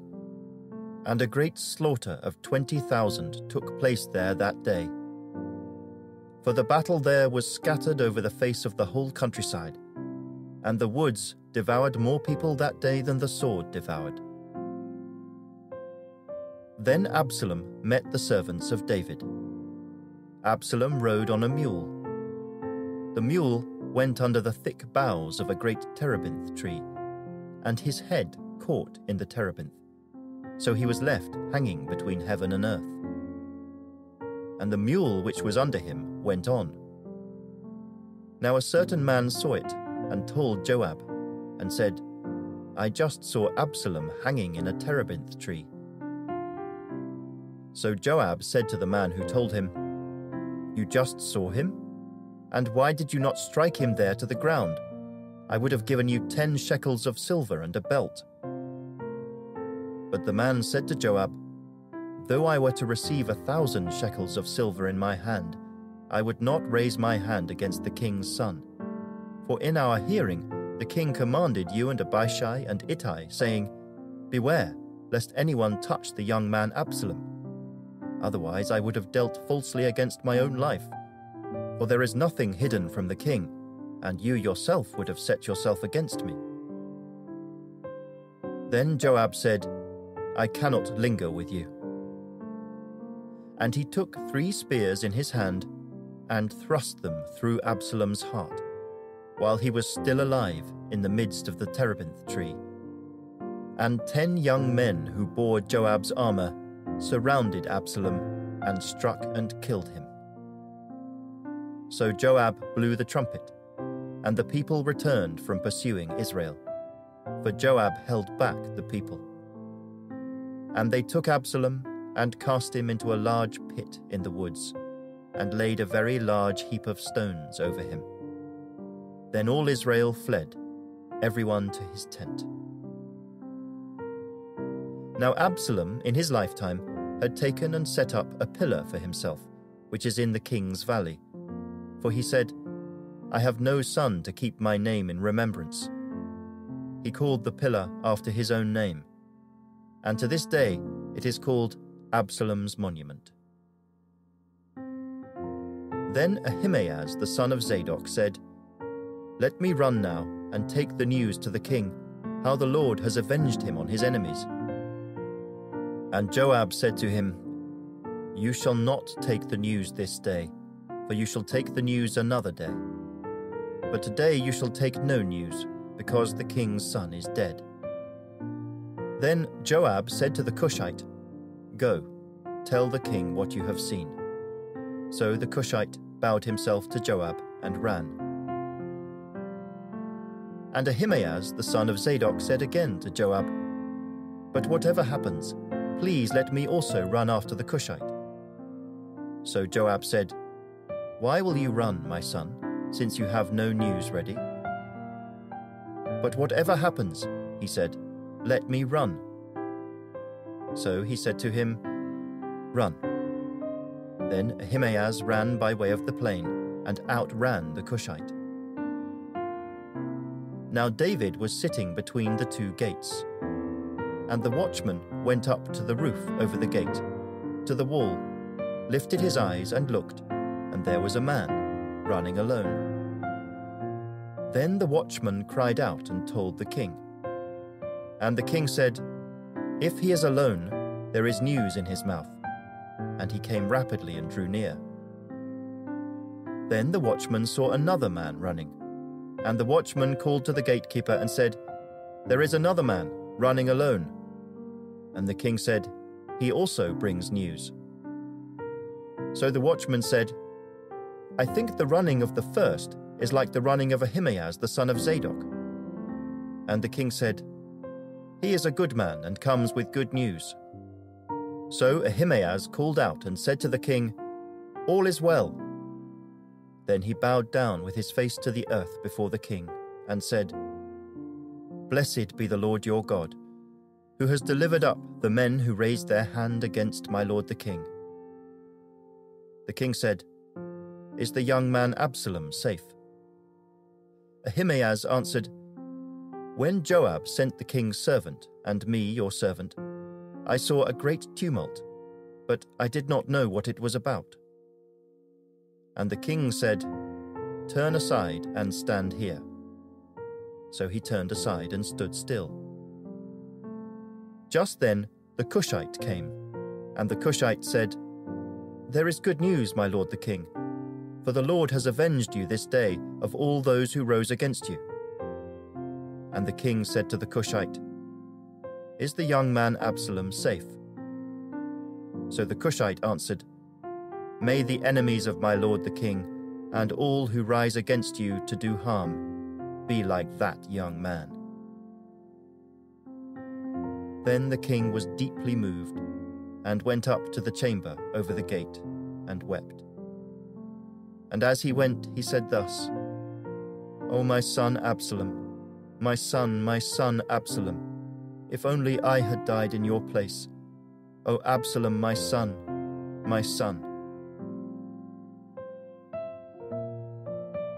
Chapter 19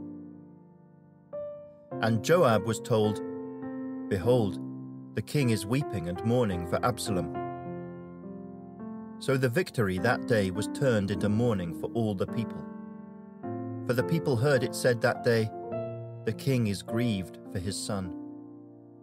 And the people stole back into the city that day, as people who are ashamed steal away when they flee in battle. But the king covered his face, and the king cried out with a loud voice, O my son Absalom, O Absalom, my son, my son. Then Joab came into the house to the king and said, Today you have disgraced all your servants who today have saved your life, the lives of your sons and daughters, the lives of your wives, and the lives of your concubines, in that you love your enemies and hate your friends. For you have declared today that you regard neither princes nor servants. For today I perceive that if Absalom had lived, and all of us had died today, then it would have pleased you well. Now therefore, arise, go out and speak comfort to your servants. For I swear by the Lord, if you do not go out, not one will stay with you this night. And that will be worse for you than all the evil that has befallen you from your youth until now. Then the king arose and sat in the gate. And they told all the people, saying, There is the king, sitting in the gate. So all the people came before the king. For everyone of Israel had fled to his tent.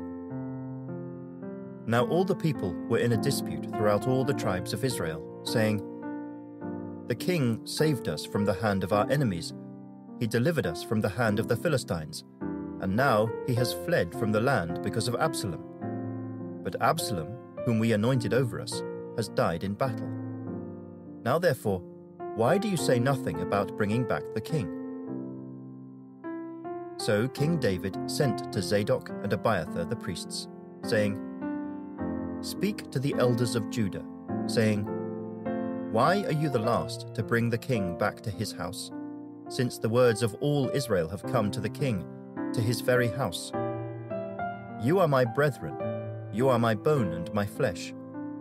Why then are you the last to bring back the king? And say to Amasa, Are you not my bone and my flesh? God do so to me and more also, if you are not commander of the army before me continually, in place of Joab. So he swayed the hearts of all the men of Judah, just as the heart of one man, so that they sent this word to the king Return, you and all your servants. Then the king returned and came to the Jordan. And Judah came to Gilgal to go to meet the king, to escort the king across the Jordan. And Shimei, the son of Gera, a Benjamite, who was from Bahurim, hurried and came down with the men of Judah to meet King David. There were a thousand men of Benjamin with him and Ziba the servant of the house of Saul, and his fifteen sons and his twenty servants with him. And they went over the Jordan before the king. Then a ferry boat went across to carry over the king's household, and to do what he thought good. Now Shimei the son of Gera fell down before the king when he had crossed the Jordan. Then he said to the king, Do not let my lord impute iniquity to me or remember what wrong your servant did on the day that my lord the king left Jerusalem, that the king should take it to heart. For I, your servant, know that I have sinned. Therefore here I am, the first to come today of all the house of Joseph, to go down to meet my lord the king. But Abishai the son of Zeruiah answered and said, Shall not Shimei be put to death for this? because he cursed the Lord's anointed? And David said, What have I to do with you, you sons of Zeruiah, that you should be adversaries to me today? Shall any man be put to death today in Israel? For do I not know that today I am king over Israel? Therefore the king said to Shimei, You shall not die. And the king swore to him. Now Mephibosheth, the son of Saul, came down to meet the king. And he had not cared for his feet, nor trimmed his moustache, nor washed his clothes, from the day the king departed until the day he returned in peace. So it was, when he had come to Jerusalem to meet the king, that the king said to him, Why did you not go with me, Mephibosheth? And he answered, My lord, O king, my servant deceived me. For your servant said, I will saddle a donkey for myself, that I may ride on it and go to the king, because your servant is lame and he has slandered your servant to my lord the king. But my lord the king is like the angel of God. Therefore, do what is good in your eyes. For all my father's house were but dead men before my lord the king. Yet you set your servant among those who eat at your own table. Therefore, what right have I still to cry out any more to the king? So the king said to him, Why do you speak any more of your matters? I have said, you and Ziba divide the land. Then Mephibosheth said to the king, Rather, let him take it all, inasmuch as my lord the king has come back in peace to his own house. And Barzillai the Gileadite came down from Rogelim and went across the Jordan with the king to escort him across the Jordan. Now Barzillai was a very aged man, eighty years old and he had provided the king with supplies while he stayed at Mahanaim, for he was a very rich man. And the king said to Barzillai, Come across with me, and I will provide for you while you are with me in Jerusalem. But Barzillai said to the king, How long have I to live, that I should go up with the king to Jerusalem? I am today eighty years old. Can I discern between the good and bad? Can your servant taste what I eat or what I drink? Can I hear any longer the voice of singing men and singing women? Why then should your servant be a further burden to my lord the king? Your servant will go a little way across the Jordan with the king. And why should the king repay me with such a reward? Please let your servant turn back again, that I may die in my own city, near the grave of my father and mother.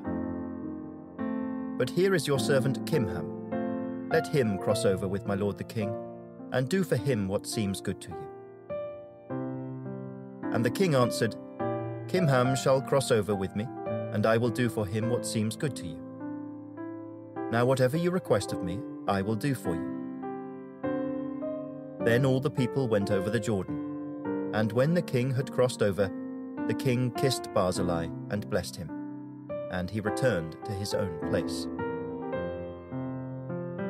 Now the king went on to Gilgal, and Kimham went on with him. And all the people of Judah escorted the king, and also half the people of Israel. Just then, all the men of Israel came to the king, and said to the king, Why have our brethren, the men of Judah, stolen you away, and brought the king, his household, and all David's men with him across the Jordan? So all the men of Judah answered the men of Israel. Because the king is a close relative of ours. Why then are you angry over this matter? Have we ever eaten at the king's expense, or has he given us any gift? And the men of Israel answered the men of Judah and said, We have ten shares in the king. Therefore we also have more right to David than you. Why then do you despise us? Were we not the first to advise bringing back our king? Yet the words of the men of Judah were fiercer than the words of the men of Israel. Chapter 20 And there happened to be there a rebel, whose name was Sheba, the son of Bichri, a Benjamite. And he blew a trumpet and said, We have no share in David nor do we have inheritance in the son of Jesse. Every man to his tents, O Israel. So every man of Israel deserted David and followed Sheba the son of Bichri. But the men of Judah, from the Jordan as far as Jerusalem, remained loyal to their king. Now David came to his house at Jerusalem, and the king took the ten women, his concubines, whom he had left to keep the house, and put them in seclusion and supported them, but did not go into them. So they were shut up to the day of their death, living in widowhood. And the king said to Amasa, Assemble the men of Judah for me within three days, and be present here yourself. So Amasa went to assemble the men of Judah. But he delayed longer than the set time which David had appointed him. And David said to Abishai, Now Sheba the son of Bichri will do us more harm than Absalom. Take your lord's servants and pursue him, lest he find for himself fortified cities and escape us. So Joab's men, with the Cherethites, the Pelethites, and all the mighty men, went out after him. And they went out of Jerusalem to pursue Sheba the son of Bichri.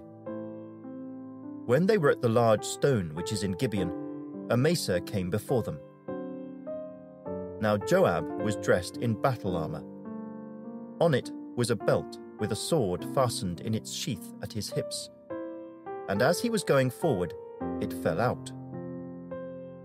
Then Joab said to Amasa, Are you in health, my brother? And Joab took Amasa by the beard with his right hand to kiss him. But Amasa did not notice the sword that was in Joab's hand. And he struck him with it in the stomach, and his entrails poured out on the ground. And he did not strike him again. Thus he died. Then Joab and Abishai his brother pursued Sheba the son of Bichri. Meanwhile, one of Joab's men stood near Amasa and said, Whoever favors Joab and whoever is for David, follow Joab. But Amasa wallowed in his blood in the middle of the highway. And when the man saw that all the people stood still, he moved Amasa from the highway to the field and threw a garment over him when he saw that everyone who came upon him halted. When he was removed from the highway, all the people went on after Joab to pursue Sheba the son of Bichri. And he went through all the tribes of Israel to Abel and Beth Maachah and all the Berites. So they were gathered together and also went after Sheba. Then they came and besieged him in Abel of Beth Maachah. And they cast up a siege mound against the city, and it stood by the rampart and all the people who were with Joab battered the wall to throw it down. Then a wise woman cried out from the city, Here, here, please say to Joab, Come nearby, that I may speak with you. When he had come near to her, the woman said, Are you Joab? He answered, I am. Then she said to him, Hear the words of your maidservant. And he answered, I am listening. So she spoke, saying, They used to talk in former times, saying, They shall surely seek guidance at Abel. And so they would end disputes. I am among the peaceable and faithful in Israel. You seek to destroy a city and a mother in Israel. Why would you swallow up the inheritance of the Lord? And Joab answered and said, Far be it, far be it from me that I should swallow up or destroy. That is not so. But a man from the mountains of Ephraim, Sheba the son of Bichri by name, has raised his hand against the king, against David. Deliver him only, and I will depart from the city.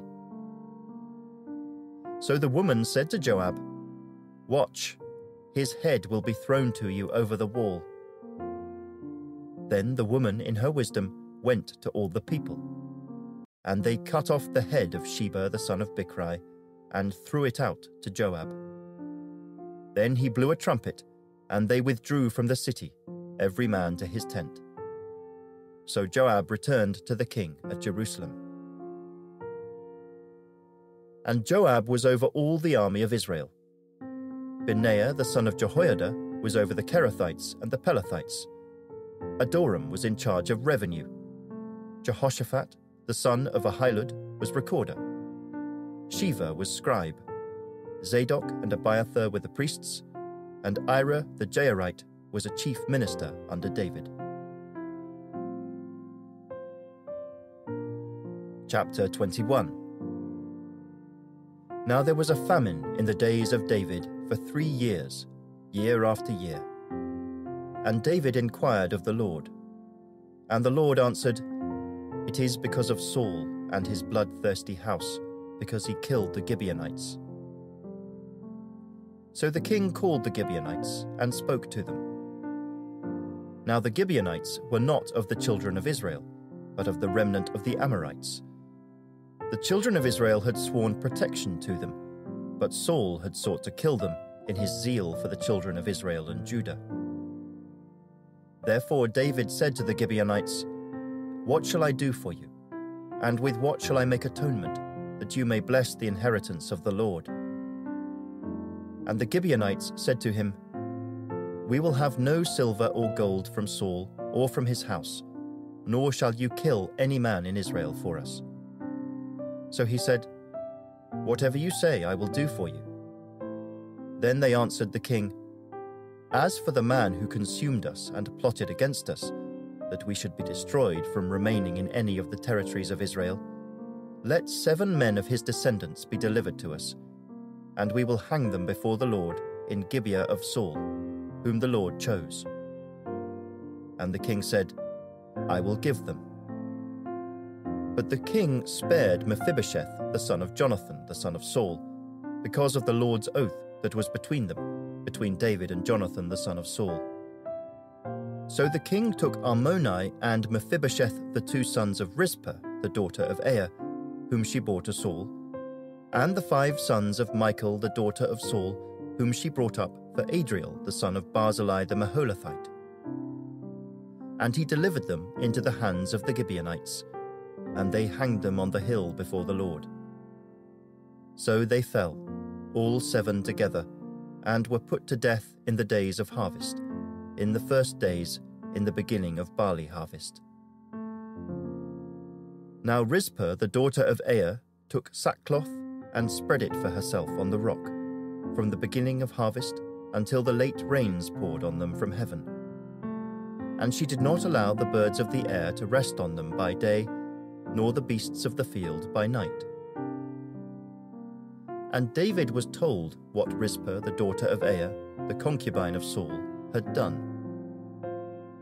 Then David went and took the bones of Saul and the bones of Jonathan his son from the men of Jabesh Gilead, who had stolen them from the street of Beth Shan, where the Philistines had hung them up, after the Philistines had struck down Saul in Gilboa. So he brought up the bones of Saul and the bones of Jonathan his son from there.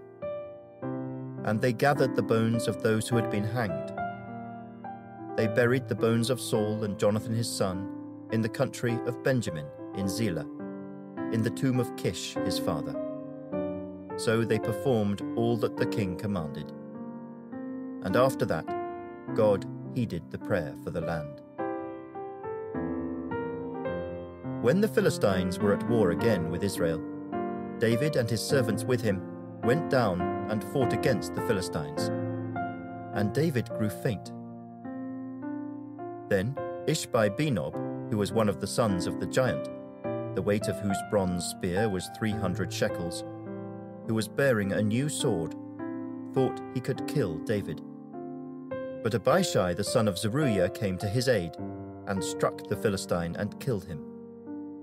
Then the men of David swore to him, saying, You shall go out no more with us to battle, lest you quench the lamp of Israel.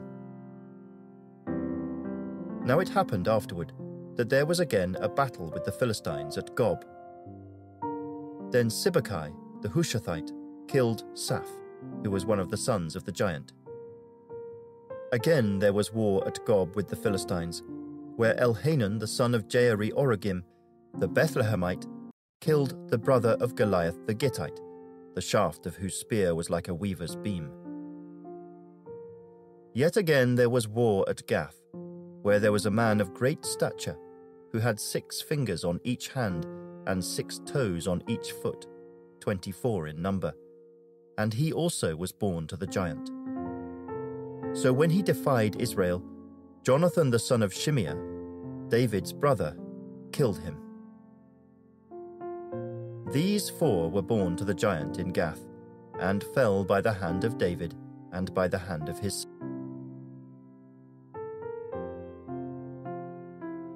Chapter 22 Then David spoke to the Lord the words of this song, on the day when the Lord had delivered him from the hand of all his enemies and from the hand of Saul. And he said, The Lord is my rock and my fortress and my deliverer the God of my strength, in whom I will trust, my shield and the horn of my salvation, my stronghold and my refuge.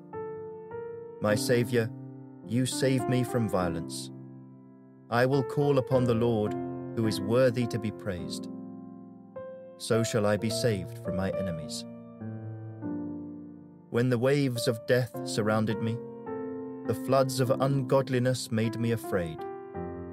The sorrows of Sheol surrounded me. The snares of death confronted me.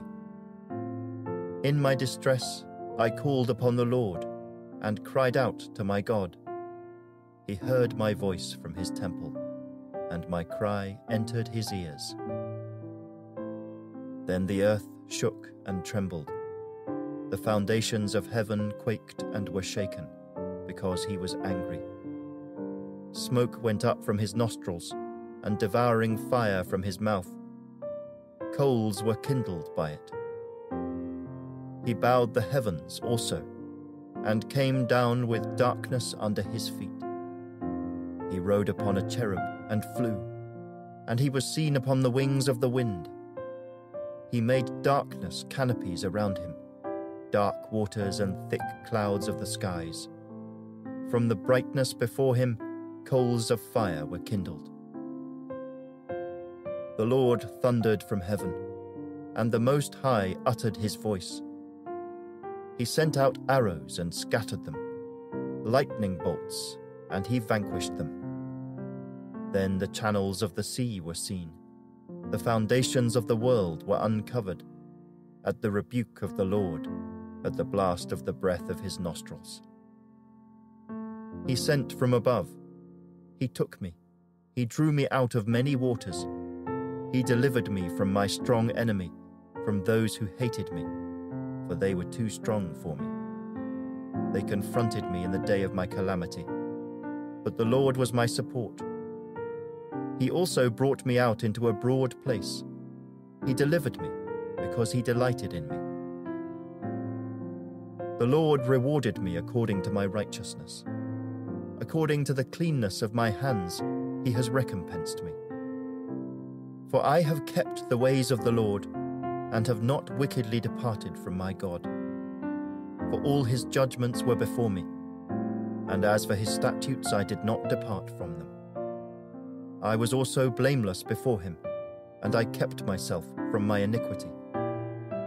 Therefore, the Lord has recompensed me according to my righteousness according to my cleanness in his eyes. With the merciful you will show yourself merciful. With a blameless man you will show yourself blameless. With the pure you will show yourself pure. And with the devious you will show yourself shrewd.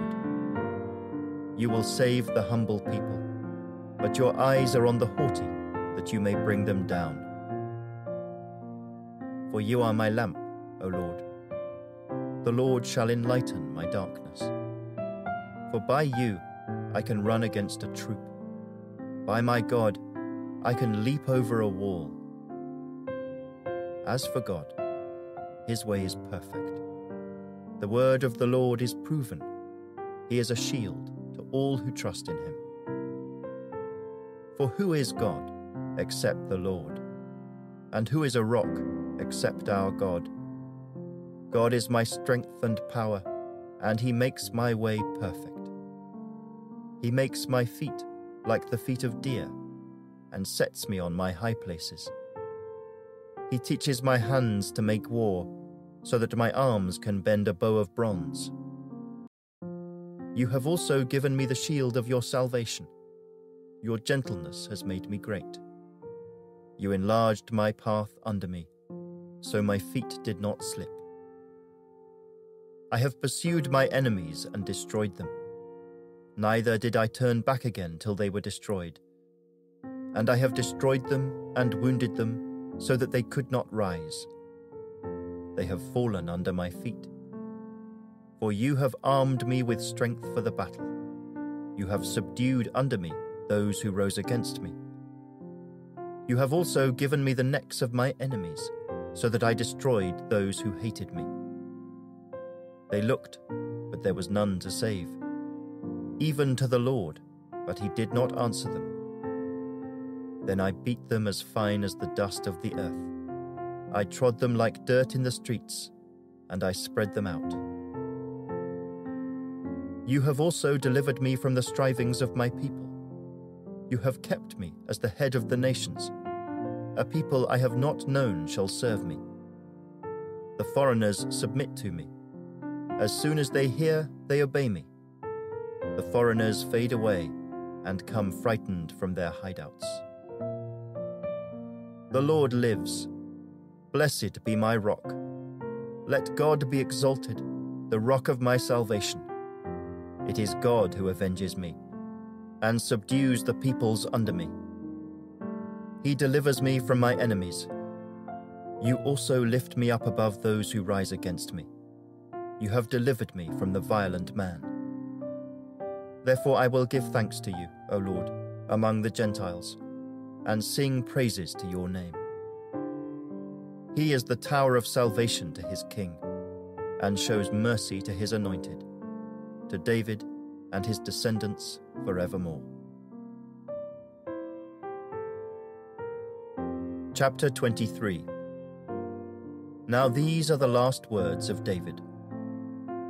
Thus says David the son of Jesse. Thus says the man raised up on high, the anointed of the God of Jacob, and the sweet psalmist of Israel. The Spirit of the Lord spoke by me, and his word was on my tongue. The God of Israel said, The rock of Israel spoke to me. He who rules over men must be just, ruling in the fear of God and he shall be like the light of the morning when the sun rises, a morning without clouds, like the tender grass springing out of the earth, by clear shining after rain. Although my house is not so with God, yet he has made with me an everlasting covenant, ordered in all things and secure. For this is all my salvation and all my desire. Will he not make it increase?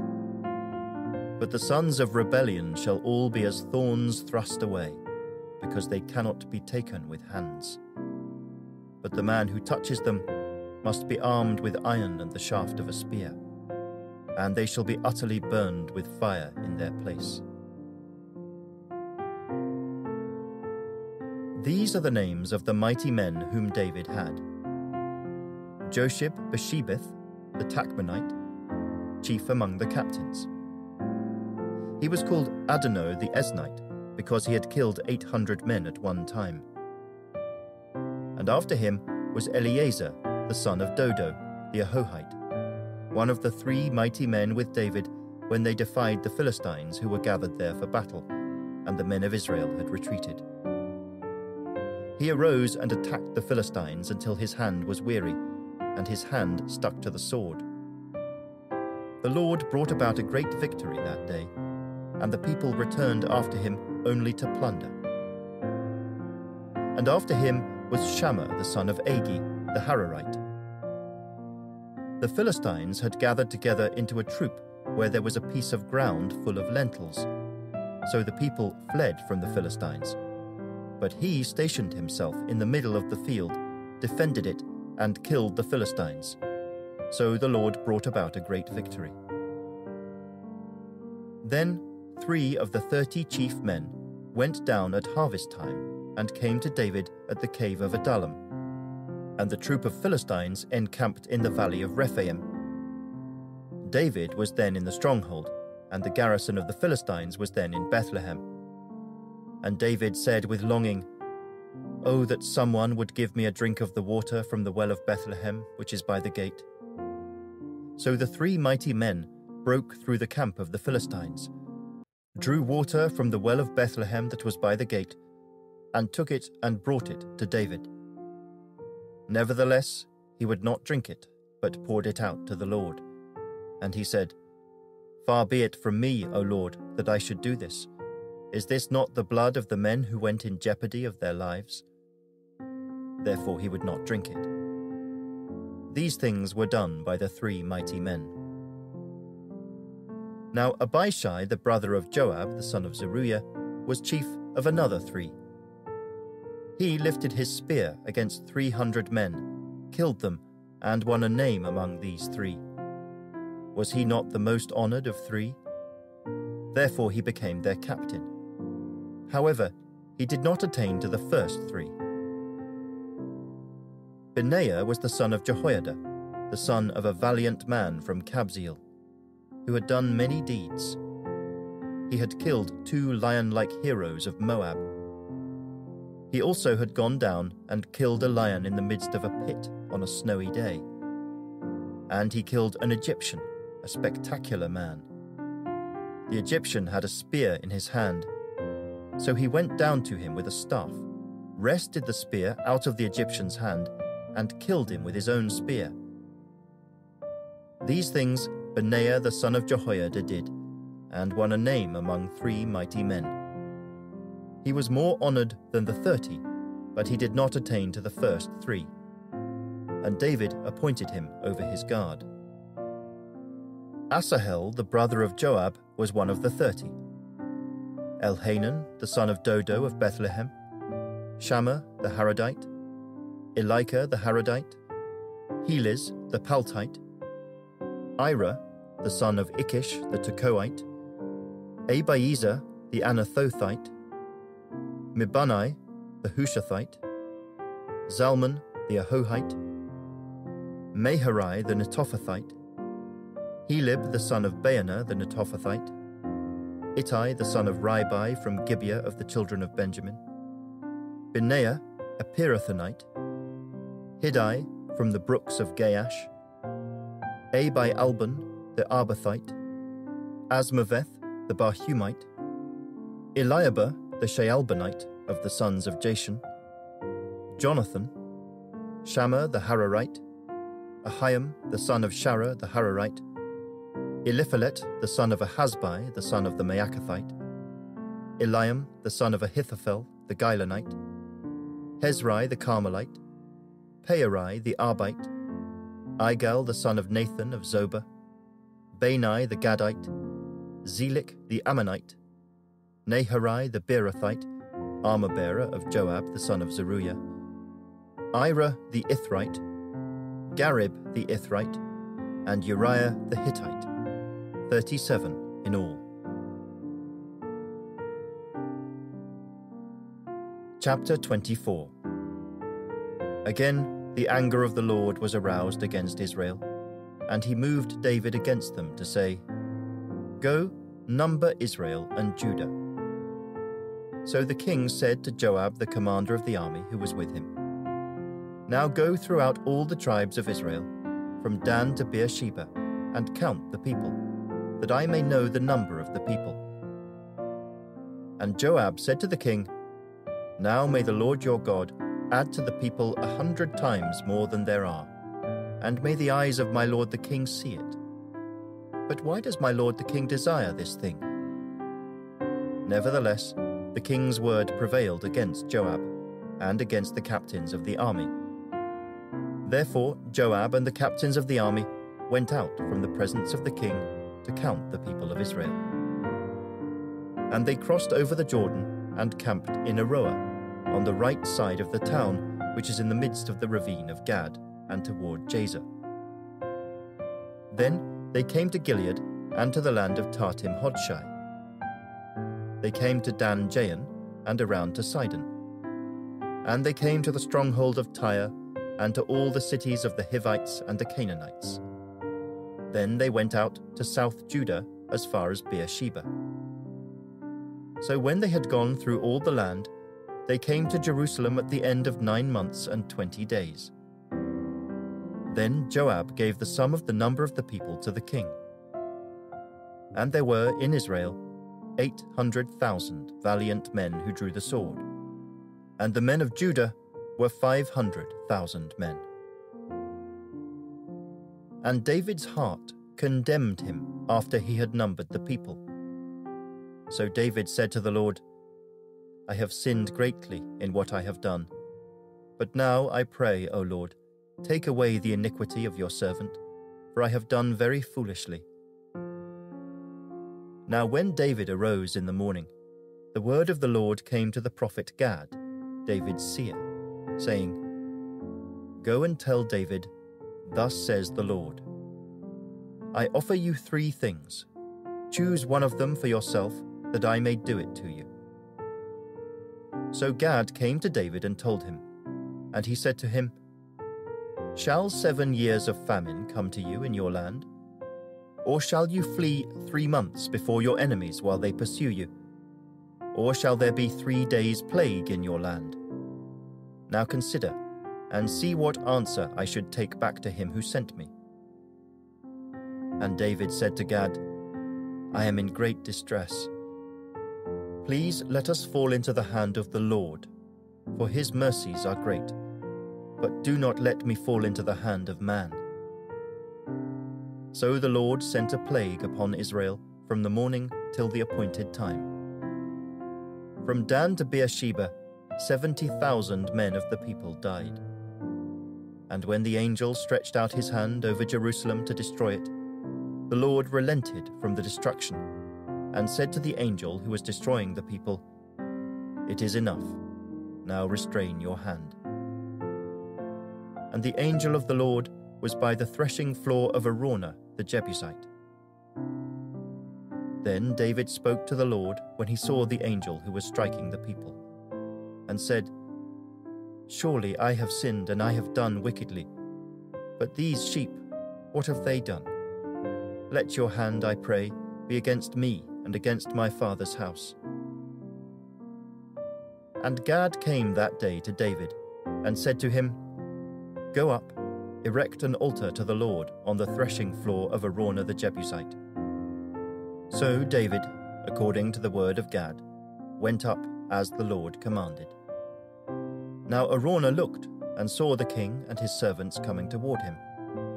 So Araunah went out and bowed before the king with his face to the ground. Then Araunah said, Why has my lord the king come to his servant? And David said, To buy the threshing floor from you, to build an altar to the Lord, that the plague may be withdrawn from the people. Now Araunah said to David, Let my lord the king take and offer up whatever seems good to him. Look, here are oxen for burnt sacrifice, and threshing implements, and the yokes of the oxen for wood. All these, O king, Araunah has given to the king. And Araunah said to the king, May the Lord your God accept you. Then the king said to Araunah, No, but I will surely buy it from you for a price. Nor will I offer burnt offerings to the Lord my God with that which costs me nothing. So David bought the threshing floor and the oxen for fifty shekels of silver. And David built there an altar to the Lord, and offered burnt offerings and peace offerings. So the Lord heeded the prayers for the land, and the plague was withdrawn from Israel.